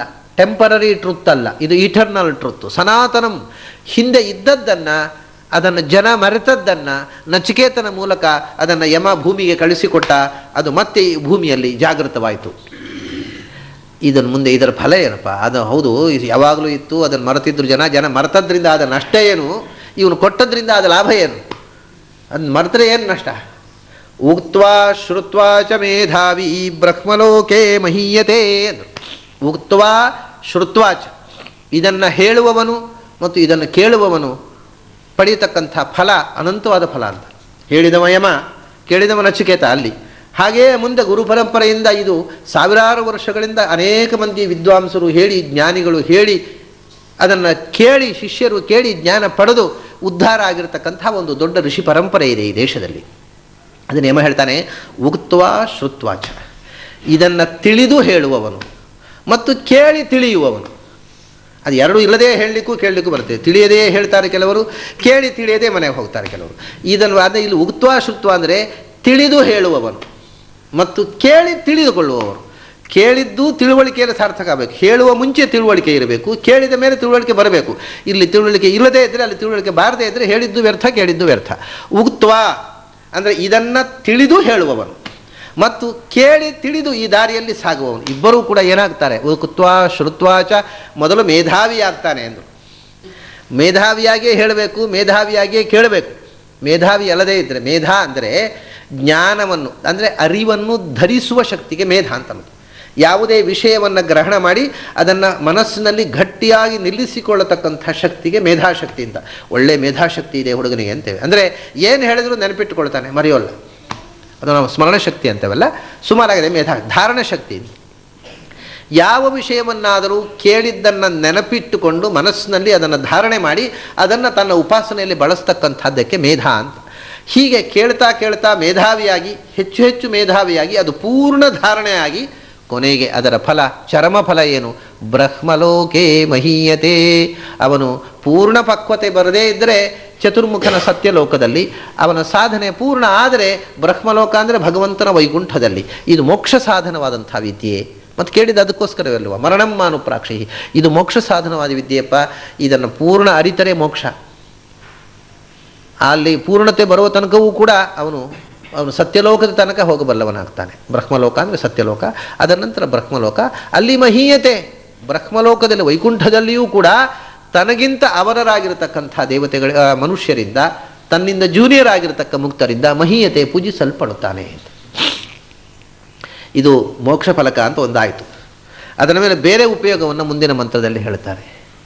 ಯೈಮಂ ಪರಮಂ ಗುಹ್ಯಂ ಶ್ರಾವಯೇದ್ ಬ್ರಹ್ಮ ಸಂಸದಿ ಪ್ರಯತ ಶ್ರಾದ್ದಕಾಲೇವ ತದಾನಂತ್ಯಾಯ ಕಲ್ಪತೆ ತದಾನಂತ್ಯಾಯ ಕಲ್ಪತ ಇತಿ. ಇದು ಈ ಪ್ರಥಮ ಅಧ್ಯಾಯದ ಕೊನೆಯ ಶ್ಲೋಕ. ಯೈಮಂ ಪರಮಂ ಗುಹ್ಯಂ ಸಮಸ್ತ ವೇದಗಳಲ್ಲಿ ರಹಸ್ಯವಾಗಿರತಕ್ಕಂಥ ವಿಷಯ. ಮತ್ತು ನಮ್ಮ ಹೃದಯದೊಳಗೆ ನಿಹಿತಂ ಗುಹಾಯ, ಗುಹೆಯ ಒಳಗೆ ಇರತಕ್ಕ ಗುಹ್ಯ ಇದು. ಪ್ರತಿಯೊಬ್ಬನ ಹೃದಯ ಗುಹೆಯ ಒಳಗೆ ಇರತಕ್ಕ ಗುಹ್ಯ. ಶಾಸ್ತ್ರದ ಗುಹೆಯ ಒಳಗೆ ನಿಗೂಢವಾಗಿ ಮೇಲುನೋಟಕ್ಕೆ ಕಾಣದ ಗುಹ್ಯ ಯಾವುದು ಈ ಭಗವತ್ ತತ್ವ, ಮುಕ್ತ ನಿಯಾಮಕನಾಗಿರತಕ್ಕಂಥ ಭಗವಂತ. ಅಂಥ ಭಗವಂತನನ್ನು ಯಹ ಶ್ರಾವಯೇತ್ ಬ್ರಹ್ಮ ಸಂಸದಿ ಬ್ರಹ್ಮಜ್ಞಾನಿಗಳ ಸಭೆಯಲ್ಲಿ ಇದನ್ನು ಪ್ರವಚನ ಮಾಡಿದರೆ ಬ್ರಹ್ಮ ಸಂಸತ್ತಿಗೂ ಕೂಡ ಕೇಳಿಸಬೇಕು. ಜ್ಞಾನಿ ಮೊದಲೇ ಅವರು ವೇದಜ್ಞರು. ಜ್ಞಾನಿಗಳ ಸಭೆಯಲ್ಲಿ ಈ ಜ್ಞಾನವನ್ನು ಬಿತ್ತರಿಸುವುದು ಅರ್ಥಾತ್ ಇದು ಸನತ್ ಕುಮಾರ್ನಂಥವ್ರು ಮಾಡಿದ ಕೆಲಸ. ಅವರು ಎಲ್ಲ ಜ್ಞಾನಿಗಳಾದ ಋಷಿಗಳನ್ನು ಕೂಡಿಸಿಕೊಂಡು ಬ್ರಹ್ಮೋಪದೇಶ ಮಾಡಿದರು. ಎಂಥ ಜ್ಞಾನಿಯು ಅವನಿಗಿಂತ ದೊಡ್ಡ ಜ್ಞಾನಿಯಿಂದ ಕಲಿಯುವಂಥದ್ದಿದೆ. ಅದರಿಂದ ನಾವು ಜ್ಞಾನಿ ಕೇಳುವುದೇನಿದೆ ಅನ್ನೋ ಪ್ರಶ್ನೆ ಇಲ್ಲವೇ ಇಲ್ಲ. ಆದ್ದರಿಂದ ಜ್ಞಾನಿಗಳ ಸಭೆಯಲ್ಲಿ ಹೇಳತಕ್ಕವ ಎಂಥ ಜ್ಞಾನಿ ಆಗಿರಬೇಕು ಅಂತ ಯೋಚನೆ ಮಾಡಿರಿ. ಬ್ರಹ್ಮ ಸಭೆ ಅದು. ಅಂದರೆ ವೇದಜ್ಞರು, ಶಾಸ್ತ್ರಜ್ಞರ ಸಭೆ, ವಿದ್ವಾಂಸರ ಸಭೆಯಲ್ಲಿ ಇದನ್ನು ಕೇಳಿಸಬೇಕು. ಕೇಳಿ ಅವರು ಹೊಸ ವಿಷಯವನ್ನು ಅದರಿಂದ ಪಡೆಯಬೇಕು. ಹಾಗೆ ಮಾಡತಕ್ಕಂಥ ಒಂದು ಅರ್ಥದ್ರಷ್ಟು ಕೋಟಿ ಗುಣಂ ತಥೋನಂತಂ ನಿಯಾಮಕೆ ಅಂತ ಆಚಾರ್ಯರು ಒಂದು ಕಡೆ ಹೇಳ್ತಾರೆ ರಘುಭಾಷ್ಯದಲ್ಲಿ. ವೇದದ ಅರ್ಥವನ್ನು ಹೇಳುವುದು. ವೇದದ ಅರ್ಥವನ್ನು ಹೇಳುವುದರಲ್ಲಿ ಅನೇಕ ವ್ಯತ್ಯಾಸಗಳಿವೆ ಅಂತಾರೆ. ಒಂದು, ವೇದದ ಅರ್ಥವನ್ನು ಅವರು ಗುರುಮುಖದಿಂದ ಕೇಳಿ ವ್ಯಾಖ್ಯಾನಗಳನ್ನು ಓದಿ ಅದರಲ್ಲಿ ಇದ್ದದ್ದನ್ನು ಇದ್ದ ಹಾಗೆ ಮಕ್ಕೀಕ ಮಕ್ಕಿ ಹೇಳುವುದು. ಇದೂ ಮಹಾಫಲ. ಆದರೆ ಅದು ಸಾಲದು ಅಂತಾರೆ ಆಚಾರ ಅರ್ಥದ್ರಷ್ಟು ಕೋಟಿ ಗುಣಂ. ನಿನಗೆ ಆ ಮಂತ್ರವನ್ನು ಓದಿದಾಗ ಅರ್ಥ ದರ್ಶನ ಆಗಬೇಕು. ಗುರುಗಳು ಹೇಳಿದ್ದಷ್ಟೇ ಅಲ್ಲ, ನಿನಗೆ ಹೊಸ ಅರ್ಥ ದರ್ಶನ ಆಗಬೇಕು. ನೀನು ಕಂಡುಕೊಳ್ಳಬೇಕು. ಆ ದರ್ಶನ ಅನ್ನೋದು ಮುಖ್ಯ. ಇದು ಶ್ರವಣದಿಂದ ಎಷ್ಟು ಕೇಳಿದೋ ಅಷ್ಟನ್ನೇ ಕಾರುವುದು ಉಂಟಲ್ಲ. ಅದು ಬೆಳೆಯಲಿಲ್ಲ ಅಂತ ಅರ್ಥ ನೀನು. ನೀನು ನಿನಗೆ ಏನು ಕಂಡಿತು ಅದು? ನಿನಗೆ ಏನು ಕೊಟ್ಟಿತು ಆ ಮಂತ್ರ? ನಿನ್ನ ಸಾಧನೆಯಿಂದ ಏನು ಹೊಸ ಅರ್ಥವನ್ನು ಕೊಟ್ಟಿತು ಅದು? ಅದು ಅರ್ಥದ್ರಷ್ಟು ಕೋಟಿ ಗುಣವು. ಆ ಹೊಸ ಮುಖದಿಂದ ಆ ಮಂತ್ರವನ್ನು ನೀನು ಕಂಡೆ ಅಂತಂದರೆ, ಪ್ರತಿಯೊಂದು ಬಾರಿ ನೋಡಿದಾಗಲೂ ಆ ಮಂತ್ರದಲ್ಲಿ ಹೊಸ ಹೊಸ ದರ್ಶನ ನಿನಗಾಯಿತು ಅಂತಂದರೆ, ಅದು ಅದು ನಿಜವಾಗಿ ವೇದಾರ್ಥ ಹೇಳುವುದಕ್ಕಿಂತ ಕೋಟಿ ಪಟ್ಟು ಶ್ರೇಷ್ಠವಾದದ್ದು ಅಂತ ಹೇಳಿದ್ರು. ಕೋಟಿ ಗುಣಂ. ಅದಕ್ಕಿಂತ ಕೋಟಿ ಗುಣ. ಇನ್ನೂ ಕಷ್ಟವಾದ ಒಂದು ಕೆಲಸ ಇದೆ. ಏನು ಅಂದರೆ, ಹಾಗೆ ಅರ್ಥ ಹೇಳಿದಾಗ, ಆ ಅರ್ಥ ಹೇಗೆ ಹೇಳಿದ್ರಿ ನೀವು? ಅದಕ್ಕೇನು ಆಧಾರ ಅಂತ ಒಬ್ಬರು ಕೇಳಿಬಿಡ್ತಾರೆ. ಆಗ ಈ ಮಂತ್ರಕ್ಕೆ ಹೀಗೆ ಅರ್ಥ ಅನ್ನುವುದಕ್ಕೆ ಸಮಸ್ತ ಶಾಸ್ತ್ರಗಳ ಆಧಾರ ಕೊಡಬೇಕು. ಈ ಶಾಸ್ತ್ರದಲ್ಲಿ ಹೀಗಿದೆ, ಭಾರತದಲ್ಲಿ ಹೀಗಿದೆ, ರಾಮಾಯಣದಲ್ಲಿ ಹೀಗಿದೆ, ಋಗ್ವೇದದಲ್ಲಿ ಹೀಗಿದೆ, ಯಜುರ್ವೇದದಲ್ಲಿ ಹೀಗಿದೆ, ಪಂಚರಾತ್ರದಲ್ಲಿ ಹೀಗಿದೆ. ಆದ್ದರಿಂದ ಈ ಮಂತ್ರಕ್ಕೆ ಹೀಗೆ ಅರ್ಥ ಅಂತ. ನಿಯಾಮಕೇ, ಸಮಸ್ತ ಶಾಸ್ತ್ರದ ದರ್ಶನ ಅದು. ಅದಕ್ಕೆ ಏನು ಫಲ ಅಂದರೆ ತಥೋ ಅನಂತಂ ನಿಯಾಮಕೆ ಅಂತ. ಸಮಸ್ತ ಶಾಸ್ತ್ರದ ಆಧಾರ ಕೊಟ್ಟು ಒಂದು ಮಂತ್ರದ ಅರ್ಥ ವಿವರಿಸಿದ ಅಂದರೆ ಒಬ್ಬ ಅವನಿಗೆ ಅನಂತ ಫಲ ಅಂತ ಹಾಗೆ ಒಂದು ವಿವರಿಸುವುದರಲ್ಲಿ ನಾನಾ ಮುಖಗಳಿವೆ. ಪುಸ್ತಕದಲ್ಲಿ ಇದ್ದದ್ದನ್ನೇ ಹೇಳುವುದು ಒಂದು. ಅದರಲ್ಲಿ ಹೊಸ ಮುಖವನ್ನು ಕಂಡು ಹೇಳುವುದು ಒಂದು. ಹೊಸ ಮುಖಗಳನ್ನು ಕಂಡದ್ದಕ್ಕೆ ಸಮಸ್ತ ಶಾಸ್ತ್ರಗಳ ಆಧಾರ ಕೊಟ್ಟು ಸಮರ್ಥಿಸುವುದು ಒಂದು. ಇದು ಒಂದಕ್ಕಿಂತ ಒಂದು ಮಿಗಿಲು. ಅದೇ ಶ್ರಾವಯೇದ್ ಬ್ರಹ್ಮ ಸಂಸದೆ ಅನ್ನೋದು ಈ ಅರ್ಥದಲ್ಲಿ. ಜ್ಞಾನಿಗಳ ಸಭೆಯಲ್ಲಿ ಆ ಜ್ಞಾನಿಗಳಿಗೂ ಹೊಸತೆನಿಸುವಂತಹ ಹೊಸ ಮುಖವನ್ನು ಕೊಟ್ಟು. ಆಗ ಜ್ಞಾನಿಗಳು ಸುಮ್ಮನೆ ಕೊಡ್ತಾರಾ? ಅದು ಹೇಗೆ, ಹಾಗೆ ಅರ್ಥ ಅಂತ ಕೇಳ್ತಾರೆ. ಅದಕ್ಕೆ ಆಧಾರಗಳನ್ನು ಕೊಟ್ಟು ಸಮರ್ಥಿಸಿದ ಅಂದರೆ ತತು ಆನಂತ್ಯಾಯ ಕಲ್ಪತೆ ಅಂತ ಇಲ್ಲಿ ಹೇಳ್ತಾರೆ ನೋಡಿ. ಅದಕ್ಕೆ ಅನಂತ ಫಲ ಅಂದರು. ತಥೋ ಅನಂತಂ ನಿಯಾಮಕೆ ಅಂತ ಆಚಾರ್ಯರು ಅಲ್ಲಿ ಹೇಳಿದ್ದಾರೆ. ತತು ಅನಂತ್ಯಾಯ ಕಲ್ಪತೆ.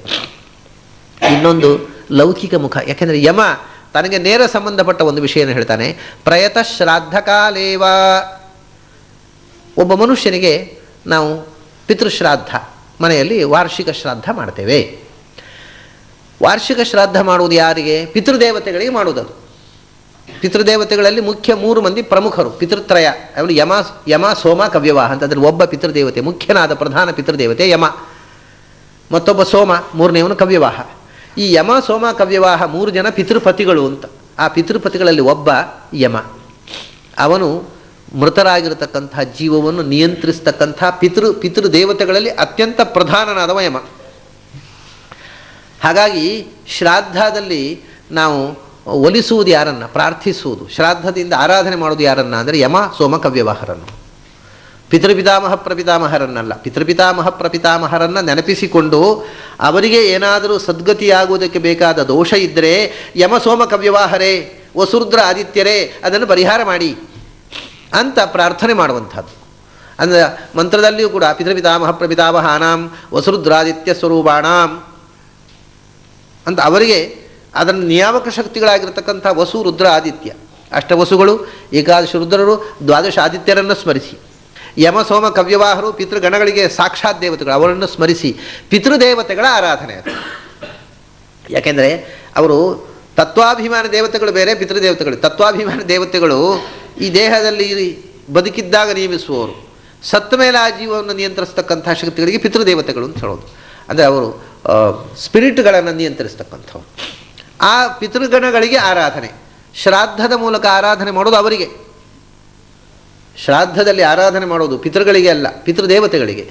ಪಿತೃದೇವತೆಗಳಿಗೆ ಆರಾಧನೆ ಮಾಡಿ ಪ್ರಾರ್ಥನೆ ಏನು? ನಮ್ಮ ಹಿರಿಯರು ಏನಾದರೂ ದೋಷದಿಂದ, ದುರಿತದಿಂದ, ಪ್ರಾರಬ್ಧ ಕರ್ಮದಿಂದ ಸದ್ಗತಿಗೆ ಬಾಧಕವಾಗಿ ಗತಿಯಾಗದೆ ಅತಂತ್ರರಾಗಿದ್ದರೆ ಅವರಿಗೆ ಆ ದೋಷವನ್ನು ಪರಿಹರಿಸಿ ಸದ್ಗತಿಯನ್ನು ಕೊಡಿ ಅಂತ. ಸದ್ಗತಿ ಆಗಿದ್ದರೆ ಮೊದಲೇ ಈ ಶ್ರಾದ್ದಕ್ಕೂ ಆ ಜೀವಕ್ಕೂ ಏನು ಸಂಬಂಧ ಇಲ್ಲ. ಇದು ಇವನ ಡ್ಯೂಟಿ ಮಾಡಿದ ಹಾಗಾಯ್ತು ಅಷ್ಟೇ. ಮತ್ತು ಪಿತೃದೇವತೆಗಳಿಗೆ ಆರಾಧನೆ ಆಯಿತು. ಪಿತೃಗಳಿಗೆ ಏನು ಸಂಬಂಧ ಇಲ್ಲ. ಆದ್ದರಿಂದ ಇವನು ಹೇಳ್ತಾರೆ ಒಂದು ವೇಳೆ ಅಂಥ ಸದ್ಗತಿಯಾಗದ ಜೀವಕ್ಕೆ ಶ್ರಾದ್ದ ನಡೀತಾ ಇದೆ ಒಂದು ಮನೆಯಲ್ಲಿ. ಅವನಿಗೆ ಸದ್ಗತಿ ಆಗಿರಲಿಲ್ಲ, ಏನೋ ದೋಷದಿಂದ ಪ್ರತಿಬಂಧಕ ಆಗಿದೆ. ಅಂಥ ಸಂದರ್ಭದಲ್ಲಿ ಶ್ರಾದ್ದ ಮಾಡ್ತಾ ಇರುವಾಗ ಯಮ ಹೇಳ್ತಾನೆ ಶ್ರಾದ್ದದ ಮನೆಯಲ್ಲಿ ಶ್ರಾದ್ದ ನಡೆಯುವಾಗ ಕಠೋಪನಿಷತ್ತನ್ನು ಪಠಿಸಿದರೆ ಖಂಡಿತವಾಗಿ ಸದ್ಗತಿ ಆಗುತ್ತೆ ಅಂತ. ಪ್ರಯತಃ ಶ್ರಾದ್ದ ಕಾಲೇವಾ ಇದು ಯಾವಾಗ ಎಲ್ಲಿ ಸದ್ಗತಿಯಾಗಬೇಕು ಅನ್ನುವುದಕ್ಕೋಸ್ಕರ ಏನು ಕ್ರಿಯೆ ನಡೀತದೆ ಮೃತ ಜೀವಕ್ಕೆ. ಆ ಸದ್ಗತಿಯ ಉದ್ದೇಶಕ್ಕೆ ಶಕ್ತಿ ಹೆಚ್ಚು ಬರಬೇಕು ಅಂದರೆ ನೀವು ಪಿಂಡ ಪ್ರದಾನದ ಜೊತೆಗೆ ಕಠೋಪನಿಷತ್ತನ್ನು ಪಠಿಸ್ರಿ ಅಂತಾರೆ.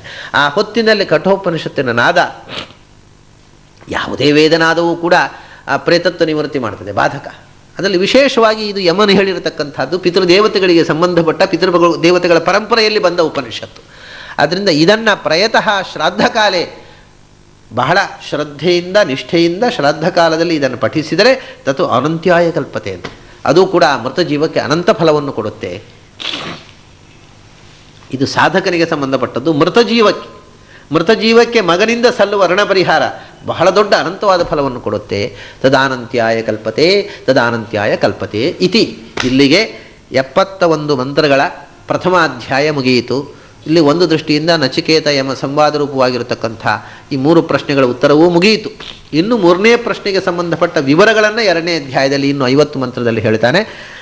ಆ ಐವತ್ತು ಮಂತ್ರಗಳನ್ನು ನಾವು ದೇವರು ನಡೆಸಿದರೆ ಮುಂದಿನ ಬಾರಿ ನೋಡುವಂಥದ್ದು. ಒಂದು ಅಧ್ಯಾಯ ಮತ್ತು ಫಲಶ್ರುತಿ ಜೊತೆಗೆ ಒಂದು ಗ್ರಂಥ ಸಮಾಪ್ತಿಯೇ ಮಾಡಿಬಿಟ್ರು ನೋಡಿ ಫಲಶ್ರುತಿ ಸಮೇತವಾಗಿ ಉಪಸಂಹಾರ, ಮೂರು ಪ್ರಶ್ನೆಗಳ ಉತ್ತರವೂ ಮುಗಿಯಿತು. ಒಂದು ಘಟ್ಟದಲ್ಲಿ ನಚಿಕೇತ ಎಂಬ ಸಂವಾದ ಮುಗಿದು ಹೋಯಿತು. ಅದರ ಜೊತೆಗೆ ಈ ಬಾರಿಯ ಈ ಉಪನಿಷತ್ ಅನುಸಂಧಾನವನ್ನು ಮುಗಿಸೋಣ. ಮುಂದೆ ಅದ ಉಪನಿಷತ್ತು ಪುಸ್ತಕಕ್ಕೆ ಅಲ್ಲಿರತಕ್ಕಂಥ ವ್ಯಾಸದೇವರಿಗೆ ಪೂಜೆಯ ಜೊತೆಗೆ ಇದು ಮಂಗಳವಾಗುತ್ತೆ.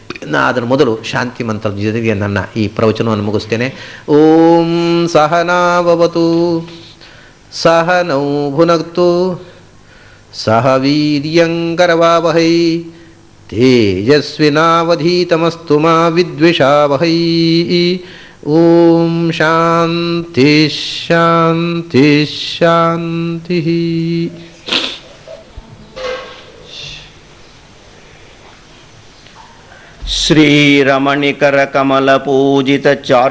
सरोज ब्रह्मसमीरवाणी फणीन्द्रवीन्द्रभवेन्द्रमुखविनुत नीरजभवाण्डोदयस्थितिकारणने कैवल्यदायक नारसिंहने नमिपे करुणिपुदमगे मङ्गलवा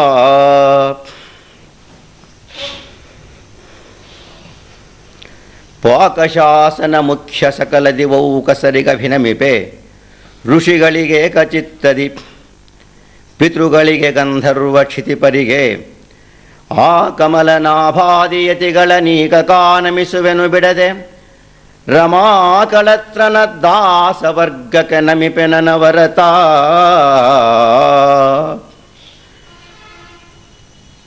ಈ ಮಹೀಮಂಡಲದೊಳಿಹ ಗುರು ಶ್ರೀಮದಾಚಾರ್ಯರ ಮತಾನುಗರು ಆ ಮಹಾವೈಷ್ಣವರ ವಿಷ್ಣು ಪದಬ್ಜ ಮಧುಕರರ ಸ್ತೋಮಕಾನಮಿಪೆ. ಅವರವರ ನಾಮಗಳನೆಂಪೇಳ್ವೆ ಬಹುವಿಧ. ಯಾಮ ಯಾಮಂಗಳಲ್ಲಿ ಬೋಧಿಸಲೆನಗೆ ಸನ್ಮತಿಯ. ಶ್ರೀ ಗುರುಭ್ಯೋ ನಮಃ. ಸರ್ವೇಭ್ಯೋ ಬ್ರಾಹ್ಮಣೇಭ್ಯೋ ನಮೋ ನಮಃ. ವ್ಯಾಸಪೀಠದಲ್ಲಿ ವಿರಾಜಮಾನರಾಗಿರ್ತಕ್ಕಂಥ ವಿದ್ವಚ್ಚಕ್ರ ಚೂಡಾಮಣಿಗಳಾಗಿರ್ತಕ್ಕಂಥ ಪರಮ ಪೂಜ್ಯ ಬನ್ನಂಜೆ ಗೋವಿಂದಾಚಾರ್ಯರ ಅಡಿದಾವರೆಗಳಲ್ಲಿ ಭಕ್ತಿಯ ನಮಿಸಿ, ಈ ಇಪ್ಪತ್ತೊಂದು ದಿವಸದಿಂದ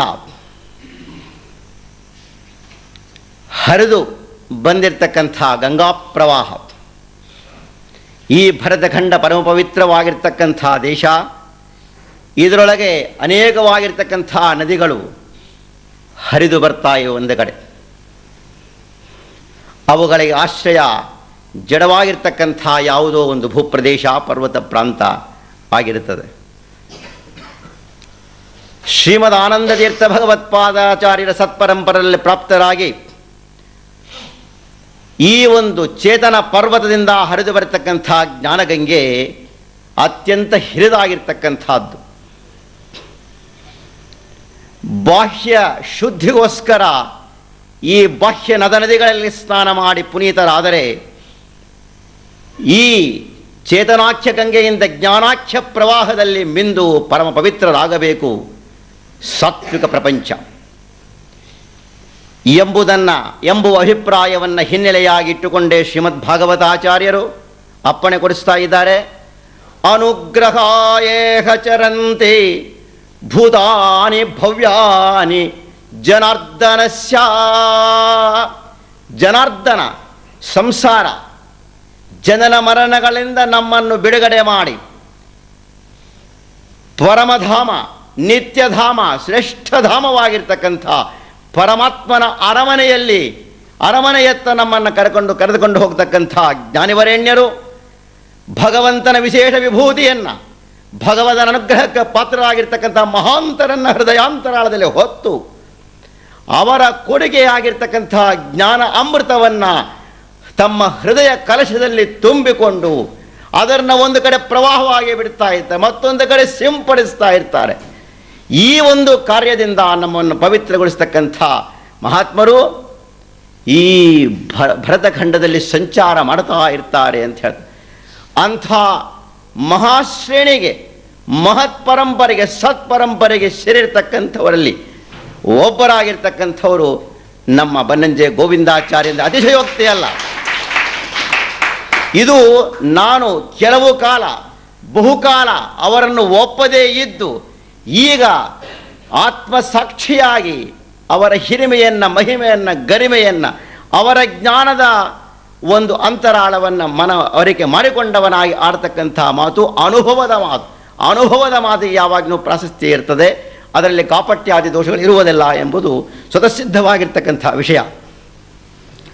ಇಂಥ ಒಂದು ಜ್ಞಾನ ಪ್ರವಾಹವನ್ನು ನಮ್ಮಗಳಿಗೆ ಕೊಟ್ಟಿದ್ದಾರೆ. ಅದರಲ್ಲಿ ನಾವು ಮಿಂದು ಪುನೀತರಾಗಿದ್ದೇವೆ. ಆದರೆ ಪುನೀತರಾಗಿವೆ ಅಂತ ಹೇಳಿಬಿಟ್ಟು ಸುಮ್ಮನೆ ಕೂಡ್ತಕ್ಕಂಥದ್ದಲ್ಲ ಇಲ್ಲಿಗೆ. ಈ ಪ್ರವಾಹ ಯಾವಾಗ್ಯೂ ಹರಿತಾ ಇರಬೇಕು, ನಾವು ಅವಗಾಹನ ಸ್ನಾನ ಮಾಡ್ತಾ ಇರಬೇಕು. ಎಲ್ಲೇ ಪರ್ಯಂತರ ಆಲಯಂ ಮುಕ್ತಿಗೆ ಹೋಗೋ ಪರ್ಯಂತರವಾಗಿ, ಲಿಂಗ ದೇಹ ಭಂಗವಾಗಿ, ಮುಕ್ತಿ ಮಂಟಪವನ್ನು ನಾವು ಸೇರೋ ಪರ್ಯಂತರವಾಗಿ ಈ ಜ್ಞಾನಿಗಳ, ಜ್ಞಾನಿಗಳಿಂದ ಬರ್ತಕ್ಕಂಥ ಅದೇನು, ಉಪದೇಶಾಮೃತವನ್ನು ನಾವು ಪಾನ ಮಾಡ್ತಾ ಇರಬೇಕು. ಅದಕ್ಕಾಗಿ ಏನು ಮಾಡಬೇಕು? ಅದಕ್ಕಾಗಿ ಜ್ಞಾನಿಗಳನ್ನು ಸೇವಿಸಬೇಕು. ಜ್ಞಾನಿಗಳು ಒಲಿತರೆ ಅವರ ಹೃದಯ ಬಿಚ್ಚಿ ಅನುಗ್ರಹೋನ್ಮುಖರಾಗಿ ಅಂತಃಕರಣ ಪುರಸ್ಸರವಾಗಿ ಶ್ರೋತೃವೃಂದಕ್ಕೆ, ಶಿಷ್ಯವೃಂದಕ್ಕೆ ಜ್ಞಾನವಾಗಲಿ, ಅನುಭವ ಜ್ಞಾನವಾಗಲಿ ಅಂತ ಹರಿಸಿ, ಅಂತ ಒಂದು ಆಶೀರ್ವಾದ ಪೂರ್ವಕವಾಗಿ ಅಂತಃಕರಣ ಪೂರ್ವಕವಾಗಿ ಅವರು ಉಪದೇಶ ಮಾಡಿದ ಕಾಲಕ್ಕೆ ಆ ಜ್ಞಾನ ನಮ್ಮದಾಗ, ಅಂದರೆ ನಮ್ಮ ಜ್ಞಾನ ಅಭಿವ್ಯಕ್ತಿಗೆ ಕಾರಣವಾಗ್ತದೆ. ಆದ ಕಾರಣ ಏನು ಮಾಡಬೇಕು? ಅವರನ್ನು ಚೆನ್ನಾಗಿ ಸೇವಿಸಬೇಕು ನಾವು. ಅವರಿಗೆ ಹಿತವಾಗತಕ್ಕಂಥ ರೀತಿಯಲ್ಲಿ ನಮ್ಮ ದೈಹಿಕ ವ್ಯಾಪಾರ, ನಮ್ಮ ವಾಕ್ ವ್ಯಾಪಾರ, ನಮ್ಮ ಮಾನಸಿಕ ಪ್ರವರ್ತನೆಯನ್ನು ನಾವು ಅಳವಡಿಸಿಕೋಬೇಕು. ಇದನ್ನು ಅಳವಡಿಸಿಕೊಂಡ ಕಾಲಕ್ಕೆ ಉಪದೇಷ್ಟಂತಿದೆ ಜ್ಞಾನಂ ಜ್ಞಾನಿನಃ ತತ್ವದರ್ಶನ ಎಂಬುದಾಗಿ ಹೇಳ್ತಾ ಇದ್ದಾರೆ. ಇಂಥ ಒಂದು ಸದವಕಾಶ ಭಗವಂತ ಕಳೆದ ವರ್ಷ ಇಲ್ಲಿ ಕೊಟ್ಟಿದ್ದಾನೆ. ಪುನಃ ಈ ವರ್ಷವೂ ನೀಡಿದ್ದಾನೆ. ಈ ವರ್ಷದಲ್ಲಿ ಪುನಃ ಮತ್ತು ಮುಂದಿನ ವರ್ಷದಲ್ಲಿ ಕೂಡ ಇದು ಜೂನ್ ತಿಂಗಳ ಪ್ರಾಂತೊಳಗೆ ಮುಂದುವರಿತಕ್ಕಂಥದ್ದಿದೆ. ಇದು ಅನೇಕ ಮಂದಿ ದ್ವಾರ ನೀವು ಕೇಳಿರಬಹುದು, ನಾನು ಕೇಳಿರಬಹುದು. ಶಾಸ್ತ್ರದ ಶಬ್ದಗಳನ್ನು, ಆ ಪಂಕ್ತಿಗಳನ್ನು, ಆ ಪಂಕ್ತಿಯಲ್ಲಿ ಹುದುಗಿರ್ತಕ್ಕಂಥ ಶಾಬ್ದಿಕಾರ್ಥವನ್ನು ಮೇಲೆ ತೋರ್ತಕ್ಕಂಥ ಅರ್ಥವನ್ನು ಏನೋ ಸ್ವಲ್ಪ ಸ್ವಲ್ಪ, ಅಲ್ಪ ಸ್ವಲ್ಪ ಅಧ್ಯಾತ್ಮಕ್ಕೆ ಹೋಲಿಸಿ ಹೇಳ್ತಕ್ಕಂಥವ್ರು ಸಿಗಬಹುದು. ಆದರೆ ಶಾಸ್ತ್ರದ ತತ್ವವನ್ನು ತಮ್ಮ ಅನುಭವ ಅನ್ನತಕ್ಕಂಥ ಹೊರಗಲ್ಲಿಗೆ ತಿಕ್ಕಿ, ಇದೋ ಇದು ಚೊಕ್ಕ ಸುವರ್ಣ. ಶಾಸ್ತ್ರದಲ್ಲಿರ್ತಕ್ಕಂಥ ಐವತ್ತು ವರ್ಣಗಳು, ಸುವರ್ಣಗಳು ಬಂಗಾರ ಈ ಬಂಗಾರಕ್ಕೆ ಕಳ್ಳರು ಇತ್ಯಾದಿಗಳ ಕಾಟ ಉಂಟು. ಈ ಸುವರ್ಣಗಳಿಗೆ ಐವತ್ತೊಂದು ಅಕಾರ ಆದಿ ಕ್ಷಕಾರ ಅಂತ ಇರತಕ್ಕಂಥ ಐವತ್ತೊಂದು ವರ್ಣಗಳಿಗೆ ಯಾವ ಕಳ್ಳ ಕಾಕರ ಬಾಧೆ ಇಲ್ಲ. ಕಾರಣ ಇದೋ ಇದು ಸುವರ್ಣ ಅಂತ ಹೇಳಿಬಿಟ್ಟು ಆ ಸುವರ್ಣದ, ಸುವರ್ಣವನ್ನು ವಿವಿಧಾಭರಣಗಳನ್ನಾಗಿ ತಾವು ಸ್ವತಃ ಧರಿಸಿ, ಅಂದರೆ ಬಿಂಬಮೂರ್ತಿ ಪರಮಾತ್ಮಗೆ ಅರ್ಪಣೆ ಮಾಡಿ, ಅವನ ಪ್ರೀತಿಯನ್ನು ಗಳಿಸಿದ ಬಳಿಕ ನಮಗೆ ಉಪದೇಶ ಉಪದೇಶ ಮಾಡ್ತಕ್ಕಂಥವರು ಸಿರಳು ಸಿಗೋದು ತುಂಬ ವಿರಳ. ಅಂಥ ಒಂದು ಶ್ರೇಣಿ. ತಮ್ಮ ಅನುಭವಕ್ಕೆ ಇಟ್ಟುಕೊಂಡು, ತಮ್ಮ ಅನುಭವಾಮೃತವನ್ನು ನಮ್ಮಗಳಿಗೆ ಉಣಪಡಿಸ್ತಕ್ಕಂಥ ಕೆಲವೇ ವಿದ್ವಾಂಸರಲ್ಲಿ ಕೆಲವೇ ಜ್ಞಾನಿಗಳಲ್ಲಿ ಅತಿ ಶ್ರೇಷ್ಠರಾಗಿರ್ತಕ್ಕಂಥವರು, ಪ್ರಾತಸ್ಮರಣೀಯರಾಗಿರ್ತಕ್ಕಂಥವರು ಬನ್ನಂಜೆ ಗೋವಿಂದಾಚಾರ್ಯ ಅಂದರೆ ಅತಿಶಯೋಕ್ತಿ ಅಲ್ಲ. ಇದು ಅನುಭವದ ಮಾತು. ನಿಮಗೆ ಈಗಾಗಲೇ ಅನುಭವಕ್ಕೆ ಬಂದಿದೆ, ಬರ್ತಾ ಇದೆ ಇನ್ನು. ಆದ ಕಾರಣ ನಾವು ಏನು ಮಾಡಬೇಕಂದ್ರೆ ಸ್ವಲ್ಪ ನಾವು ಸೂಕ್ಷ್ಮ, ಉಪನಿಷತ್ತು, ಕಠೋಪನಿಷತ್ತು, ಇದಕ್ಕೆ ಮುಂಚೆ ಈಶಾವಾಸ್ಯ ಉಪನಿಷತ್ತು ಅಲ್ಲಿದ್ದನದೇ ಮಹಾಭಾರತ ಗೀತಾದ ಗೀತಾದೊಳಗೆ ಹುದುಗಿರ್ತಕ್ಕಂಥ ತತ್ವವನ್ನು ಮಹಾಭಾರತ ಪಾತ್ರಗಳ ದ್ವಾರ ಹೊರಗೆಡಹಿ ನಮಗೂ ಏನದೆ ಅಂಥ ಒಂದು ಉತ್ತೇಜನವನ್ನು ನೀಡಿರ್ತಕ್ಕಂಥ ಇದುವರೆಗೆ ಆಗಿರ್ತಕ್ಕಂಥ ಉಪನ್ಯಾಸ, ಈಗ ಕಠೋಪನಿಷತ್ತು, ಇವುಗಳೆಲ್ಲ ಸಾರವು ಆಗಿರ್ತಕ್ಕಂಥ, ಒಳ್ಳೆ ಕ್ರೀಮ್ ಪ್ರಾಯವಾಗಿರ್ತಕ್ಕಂಥ ಶ್ರೀಮದ್ಧರಿ ಕಥಾಮೃತ ಸಾರ. ವನರುಹೇಕ್ಷಣ ನೃತ್ಯ ಮಾಡುವ ನವನ ಮನೆಯೊಳು ನಿತ್ಯ ಹರಿಕಥಾಮೃತ ಸಾರ ಪಠಿಸುವರ ಅಂತ ಹೇಳ್ತಾ ಇದ್ದಾರೆ. ಆ ಪ್ರಕಾರವಾಗಿ ಅವರ ಮನದೊಳಗೆ ವಕ್ತೃಗಳ ಮನದೊಳಗೆ ವನರುಹೇಕ್ಷಣ ಮೊದಲು ನೃತ್ಯ ಮಾಡಬೇಕು. ಅಂದರೆ ಶ್ರೋತೃಗಳ ಮನದಲ್ಲಿ ನೃತ್ಯ ಮಾಡುವ ರೀತಿ ಒಳಗೆ ಅವರಿಗೆ ಹೇಳಲಿಕ್ಕೆ ಬರ್ತದೆ. ನಮ್ಮ ಮನವೊಳಗೂ ಕೂಡ, ಮನದೊಳಗೂ ಕೂಡ ನೃತ್ಯ ಮಾಡಿದ್ದಾನೆ ಅಂತಂಬುದಕ್ಕೆ ನಾವು, ನೀವು ಎಲ್ಲರೂ ಸಾಕ್ಷಿ ಎಂಬುದಾಗಿ ಪ್ರತ್ಯೇಕ ಹೇಳಬೇಕಾಗಿದ್ದಿಲ್ಲ. ಇಂಥ ಒಂದು ಶ್ರೀಮದ್ಧರಿಗದ ಅಮೃತಸಾರದ ಮಂಗಳಾಚರಣ ಸಂಧಿ, ಕರುಣಾ ಸಂಧಿ, ವ್ಯಾಪ್ತಿ ಸಂಧಿ, ಒಟ್ಟು ಎಪ್ಪತ್ತಾರು ಪದ್ಯಗಳು. ಈ ಕಠೋಪನಿಷತ್ತಿನ ಎಪ್ಪತ್ತೊಂದು ಮಂತ್ರಗಳು. ಒಟ್ಟು ಎಪ್ಪತ್ತೊಂಬತ್ತು ಕಾಮನ್ ಫ್ಯಾಕ್ಟರ್ ಆಗಿ ಕೂತ್ಕೊಂಡಿದೆ ನೋಡ್ರಿ. ಈ ಪ್ರಕಾರ ಹತ್ರ ಎರಡು ಹತ್ರ ಅಂದರೆ ಎರಡು ಹತ್ರ ಹತ್ರ ಹೋಗ್ತಾ ಇವೆ ಅಂತ ಅರ್ಥ. ಯಾವಾಗಿನೂ ಉಪನಿಷತ್ತು ಎಂಬುದು ಮೂಲ ಮೂಲ ಎಪ್ಪತ್ತೊಂದು, ಅದಕ್ಕೆ ವಿಸ್ತಾರ ಎಪ್ಪತ್ತಾರಾಗಿದೆ ಅಂದರೆ ವ್ಯಾಸ ಸಾಹಿತ್ಯ ಬಿಂಬಭೂತವಾಗಿರ್ತಕ್ಕಂಥದ್ದು, ಹರಿದಾಸ ಸಾಹಿತ್ಯ ಪ್ರತಿಬಿಂಬಭೂತವಾಗಿರ್ತಕ್ಕಂಥದ್ದು, ಅದರ ವಿಸ್ತಾರವೇ ಇದು, ಅದರ ವ್ಯಾಖ್ಯಾನವೇ, ಅದರ ಸಾರವನ್ನು ಹೊರಗಡೆತಕ್ಕಂಥ ಕೃತಿಯೇ ಇದು ಅಂತಂಬುದನ್ನು ನಾವು ತಿಳ್ಕೋಬಹುದಾಗಿದೆ. ಆದ ಕಾರಣ ಇಂಥ ಮಹಾತ್ಮರಿಗೆ, ಯಾಕೆ ಮಹಾತ್ಮರು ಅಂತಂಬ ಸರಳವಾಗಿ ಎಲ್ಲರೂ ಉಪಯೋಗಿಸಿ ಬಿಡ್ತಾರೆ ಮಹಾನಾತ್ಮ ಮಹತಿಗೆ ಮಹತು, ಶ್ರೀಹರಿಯ ನಾಮ ಅಂದಂತೆ. ಅಂಥ ನಾಮದಿಂದ, ಅನೇ ಅನಂತ ನಾಮಗಳಿಂದ ವಾಚ್ಯನಾಗಿರ್ತಕ್ಕಂಥ ಶ್ರೀಮದ್ ಆನಂದ ತೀರ್ಥ ಹೃದಯ ಹೃದಯಾಂತಸ್ಥನಾಗಿರ್ತಕ್ಕಂಥ ಶ್ರೀಹರಿಯನ್ನು ತಮ್ಮ ಹೃದಯದಲ್ಲಿ ಧರಿಸಿದ್ದಾರೆ ಕಾರಣ ಇವರು ಮಹಾತ್ಮರೇ. ಯಾರು ಬಿಂಬರೂಪಿ ಪರಮಾತ್ಮನಲ್ಲಿ ತಮ್ಮ ಮನಸ್ಸಿರತಕ್ಕಂಥ ಅವನ ಪಾದಕಮಲಗಳೇ ತಮ್ಮ ಮನಸ್ಸಿರತಕ್ಕಂಥ ದುಂಬಿಯನ್ನು ಸದಾ ತಿರುಗುವಂತೆ ಮಾಡ್ತಾ ಇದ್ದಾರೆ, ಮಾಡಿದ್ದಾರೆ. ಅವರು ಮಹಾನಾತ್ಮರು, ಅವರೇ ಬಿಂಬೋಪಾಸಕರು ಎಂಬುದಾಗಿ. ಅನುಭವ ಜ್ಞಾನಿಗಳು ಅಂತ ಅರ್ಥ. ಇಂಥ ಒಂದು ಅನುಭವ ಜ್ಞಾನಿಗಳ ದ್ವಾರ ಶಾಸ್ತ್ರದ, ವ್ಯಾಸ ಸಾಹಿತ್ಯದ, ದಾಸ ಸಾಹಿತ್ಯದ ಅನುಭವಾಮೃತವನ್ನು ಪಾನ ಮಾಡತಕ್ಕಂಥ ಸೌಭಾಗ್ಯ ಭಗವಂತ ನಮಗೆ ಒದಗಿಸಿಕೊಟ್ಟಿದ್ದಾನೆ.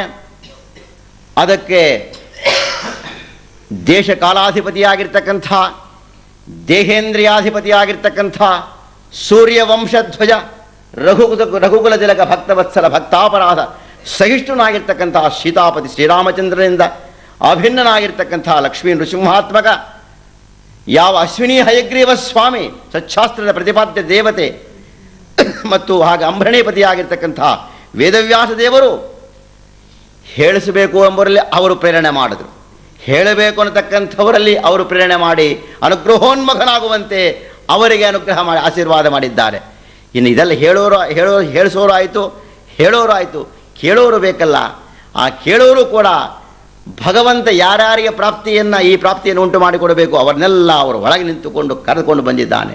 ಕರ್ಕೊಂಡು ಬಂದು ಇಲ್ಲಿ ಏನದೆ, ಈ ಒಂದು ಶ್ರವಣ ಜ್ಞಾನಯಜ್ಞದಲ್ಲಿ ಅವರಿಗೆ ಅವರನ್ನು ಭಾಗಿಗಳನ್ನಾಗಿ ಆಗಿಸಿದ್ದಾನೆ. ಇಂಥ ಒಂದು ಸದವಕಾಶವನ್ನು ಒದಗಿರ್ತಕ್ಕಂಥ, ಒದಗಿಸಿರ್ತಕ್ಕಂಥ ಆ ಸ್ವಾಮಿಗೆ ಮೂರು ಮಂದಿ, ಮೂರು ಮಂದಿಗಳ ಅಂತರ್ಯಾಮಿಯಾಗಿ ಭಗವಂತ ಈ ಒಂದು ಜ್ಞಾನಯಜ್ಞವನ್ನು ಇಲ್ಲಿ ಏರ್ಪಾಟು ಮಾಡಿದ್ದಾನೆ. ಅಂಥ ಸ್ವಾಮಿಗೆ ನಾವೆಲ್ಲರೂ ಭಕ್ತಿ ಪುರಸ್ಸರವಾಗಿ ನಾವು ನಮ್ಮ ಸಾಷ್ಟಾಂಗ ಪ್ರಣಾಮಗಳನ್ನು ಅರ್ಪಣೆ ಮಾಡಿ ಅವನಲ್ಲಿ ಬೇಡಬೇಕು ಸ್ವಾಮಿ. ಏನಿಲ್ಲ ಸ್ವಾಮಿ, ಏನು ಬೇಡುವುದಿಲ್ಲ ನಿನ್ನ. ಕುಯೋನಿಗಳು ಬರಲಂಜೆ, ಲಕ್ಷ್ಮೀ ಪ್ರಾಣಪತಿ ತತ್ವೇಶರೆಂದೊಡಗೂಡಿ ಗುಣಕಾರ್ಯ ತಾನೇ ಮಾಡುವನೆಂಬ ಈ ಸುಜ್ಞಾನವೇ ಕರುಣಿಸುವುದೆನಗೆ ಮಹಾನುಭಾವ. ಮುಹುರ್ಮುಹು ಪ್ರಾರ್ಥಿಸುವೆ, ಇನಿತೆಂದು ಎಂಬುದಾಗಿ ಜಗನ್ನಾಥದಾಸಾರ್ಯರು ವಿಘ್ನೇಶ್ವರನನ್ನು ಪ್ರಾರ್ಥಿಸಿಕೊಂಡಂತೆ ನಾವುಗಳು ಕೂಡ ಇವರೊಳಗೆ ವಕ್ತೃಗಳೊಳಗಂತ ಯಾಕೆ? ಅವರಲ್ಲಿ ಜಾಗೃತನಾಗಿರ್ತಾನೆ ಸ್ವಾಮಿ. ಅವರ ಹೃದಯಾಂತರ್ವರ್ತಿಯಾಗಿರ್ತಕ್ಕಂತಹ ಸ್ವಾಮಿಯಲ್ಲಿ ಈ ಪ್ರಾರ್ಥನೆಯನ್ನು ಸಲ್ಲಿಸಿ ಮೇಲಿಂದ ಮೇಲಿಂಥ ಒಂದು ಸದವಕಾಶವನ್ನು ನಮಗೆ ಒದಗಿಸಿಕೊಡಬೇಕು. ನಿಮ್ಮ ಸೇವೆಯನ್ನು ನಿಮ್ಮ ಅಂತರ್ಯ ಮೆಚ್ಚುವ ರೀತಿಯಲ್ಲಿ ನಾವು ಮಾಡೋದಿಲ್ಲ ಮಾಡ್ತಾ ಇಲ್ಲ. ಆದರೆ ಅಂಥ ಒಂದು ಪ್ರೇರಣೆಯನ್ನು, ಅಂಥ ಒಂದು ಬುದ್ಧಿಯನ್ನು, ಅಂಥ ಒಂದು ವಾತಾವರಣೆಯನ್ನು ನೀವು ನಮ್ಮೆಲ್ಲರಿಗೂ ಕಲ್ಪಿಸಿಕೊಟ್ಟು ಅವರವರ ಯೋಗ್ಯತಾ ಅನು ಅನುಗುಣವಾಗಿ ಯೋಗ್ಯತಾ ವಂಚನೆ ಇಲ್ಲದೆ ಸೇವೆಯನ್ನು ನಿಮ್ಮ ಅಂತರ್ಯಾಮಿಗೆ ಸಲ್ಲಿಸಿ, ನಿಮ್ಮನ್ನು ಪ್ರೀತಿಗೊಳಿಸಿ, ತದ್ವಾರ ನಿಮ್ಮ ವಿಶೇಷ ಜ್ಞಾನಕ್ಕೆ ನಮ್ಮನ್ನು ಭಾಗಿಗಳನ್ನಾಗಿ ಮಾಡಬೇಕು, ಮಾಡಿಕೋ ಮಾಡಬೇಕು ಎಂಬುದಾಗಿ ನಮ್ಮ ಪ್ರಾರ್ಥನೆಯನ್ನು ಸಲ್ಲಿಸಿ ಈ ಒಂದು ನಾಲ್ಕು ಮಾತುಗಳನ್ನು ರಾಘವೇಂದ್ರಾಯರು, ಅವರ ತಂದೆ, ಅವರ ತಾಯಿ ಅವರೆಲ್ಲ ಪರಿವಾರ, ಅವರ ಬಂಧು ಬಾಂಧವರು ಮತ್ತು ಎಲ್ಲ ಶ್ರೋತೃಗಳ ಪರವಾಗಿ ನನ್ನ ವ್ಯಕ್ತಿಗತವಾಗಿ ಕೂಡ ನಾನು ಈ ನಾಲ್ಕು ವಾಕ್ಕುಸುಮಗಳನ್ನು ಬನ್ನಂಜೆ ಆಚಾರ್ಯರ ಹೃದಯಾಂತರ್ವರ್ತಿ ಸಮಸ್ತ ತತ್ವಾಭಿಮಾನಿ ದೇವತೆಗಳ ಹೃದಯಾಂತರ್ವರ್ತಿ ಭಾರತೀಯರವನ ಮುಖ್ಯ ಪ್ರಾಣ ಅಂತರ್ಗತ ರಾಮನರಹರಿ ಕೃಷ್ಣ ಕೃಷ್ಣಾತ್ಮಕ ಚಕ್ರಧರ ನಾರಾಯಣಾತ್ಮಕ, ಶ್ರೀ ಲಕ್ಷ್ಮೀ ನೃಸಿಂಹಾತ್ಮಕ, ಶ್ರೀ ಅಶ್ವಿನಿ ಹಯಗ್ರೀವ ದೇವರ ಅಡಿದಾವರನ್ನು ಸಮರ್ಪಣೆ ಮಾಡ್ತಾ ಇದ್ದೀನಿ. ಇಂದಿರಾವರಣ ಗೋವಿಂದ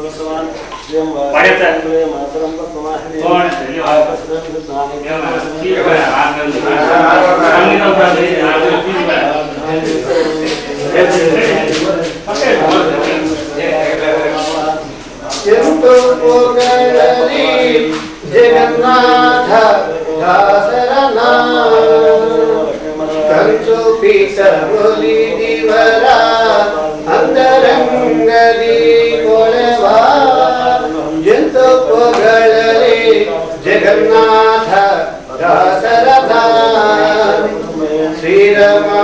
देवी पति मुंगड़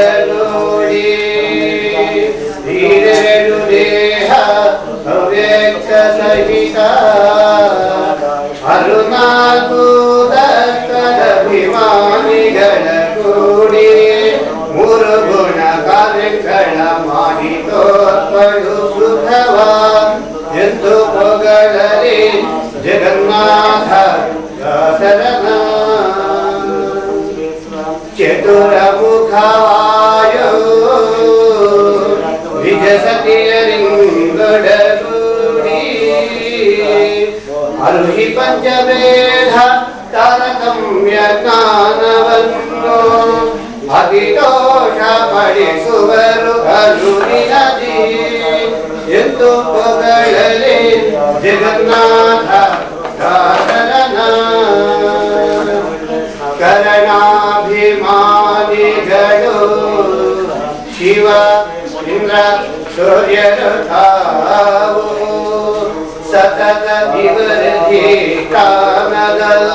ಕಾಮದಲ್ಲಿದ್ದು ಆ ಪರಮ ಪುರುಷನ ವ್ಯಾಪಾರವನ್ನು ಸ್ಮರಿಸುತ್ತಲಿಹರು ಎಂದು ಪೊಗಳಲಿ ಜಗನ್ನಾಥ ದಾಸರಥ ಈ ಪರಿ ನಿರಂತರದಿ ಆಪಾದ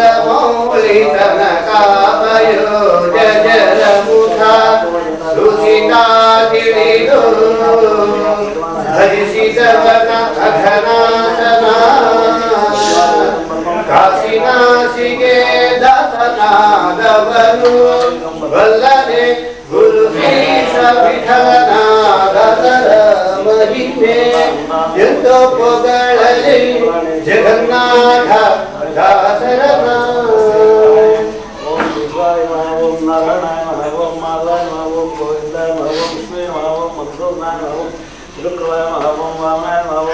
ಓಂ ಗೋವಿಂದಾಯ ನಮಃ ಓಂ ವಿಷ್ಣುವೇ ನಮಃ ಓಂ ಮಧುಸೂದನಾಯ ನಮಃ ಓಂ ತಿರುಕ್ರವಾಯ ನಮಃ ಓಂ ವಾಮನಾಯ ನಮಃ ಓಂ ಗಿರಿದಾಯ ನಮಃ ಓಂ ಶ್ರೀವೇದಾಯ ನಮಃ ಓಂ ಪದ್ಮನಾಭಾಯ ನಮಃ ಓಂ ದಾಮೋದಾಯ ನಮಃ ಓಂ ಸಂಕಟನಾಯ ನಮಃ ಓಂ ವಾಸ್ತವಾಯ ನಮಃ ಓಂ ಕೃಷ್ಣನಾಯ ನಮಃ ಓಂ ಮೃಗತ್ನಾಯ ನಮಃ ಓಂ ಪ್ರಸತ್ವಾಯ ನಮಃ ಓಂ ಅರೋತ್ನಾಯ ನಮಃ ಓಂ ನರಸಿಂಹಾಯ ನಮಃ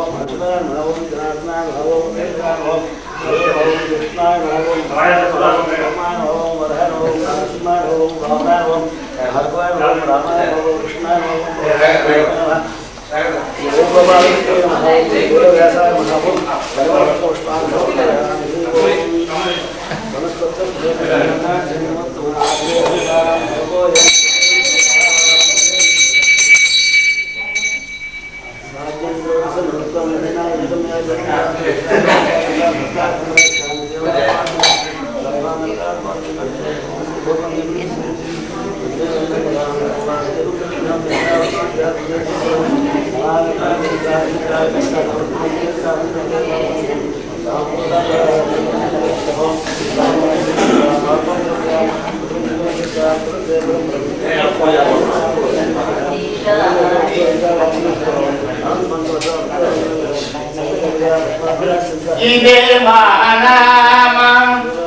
ಓಂ ಜನಾರ್ದನಾಯ ನಮಃ ಓಂ ವೇದಾಯ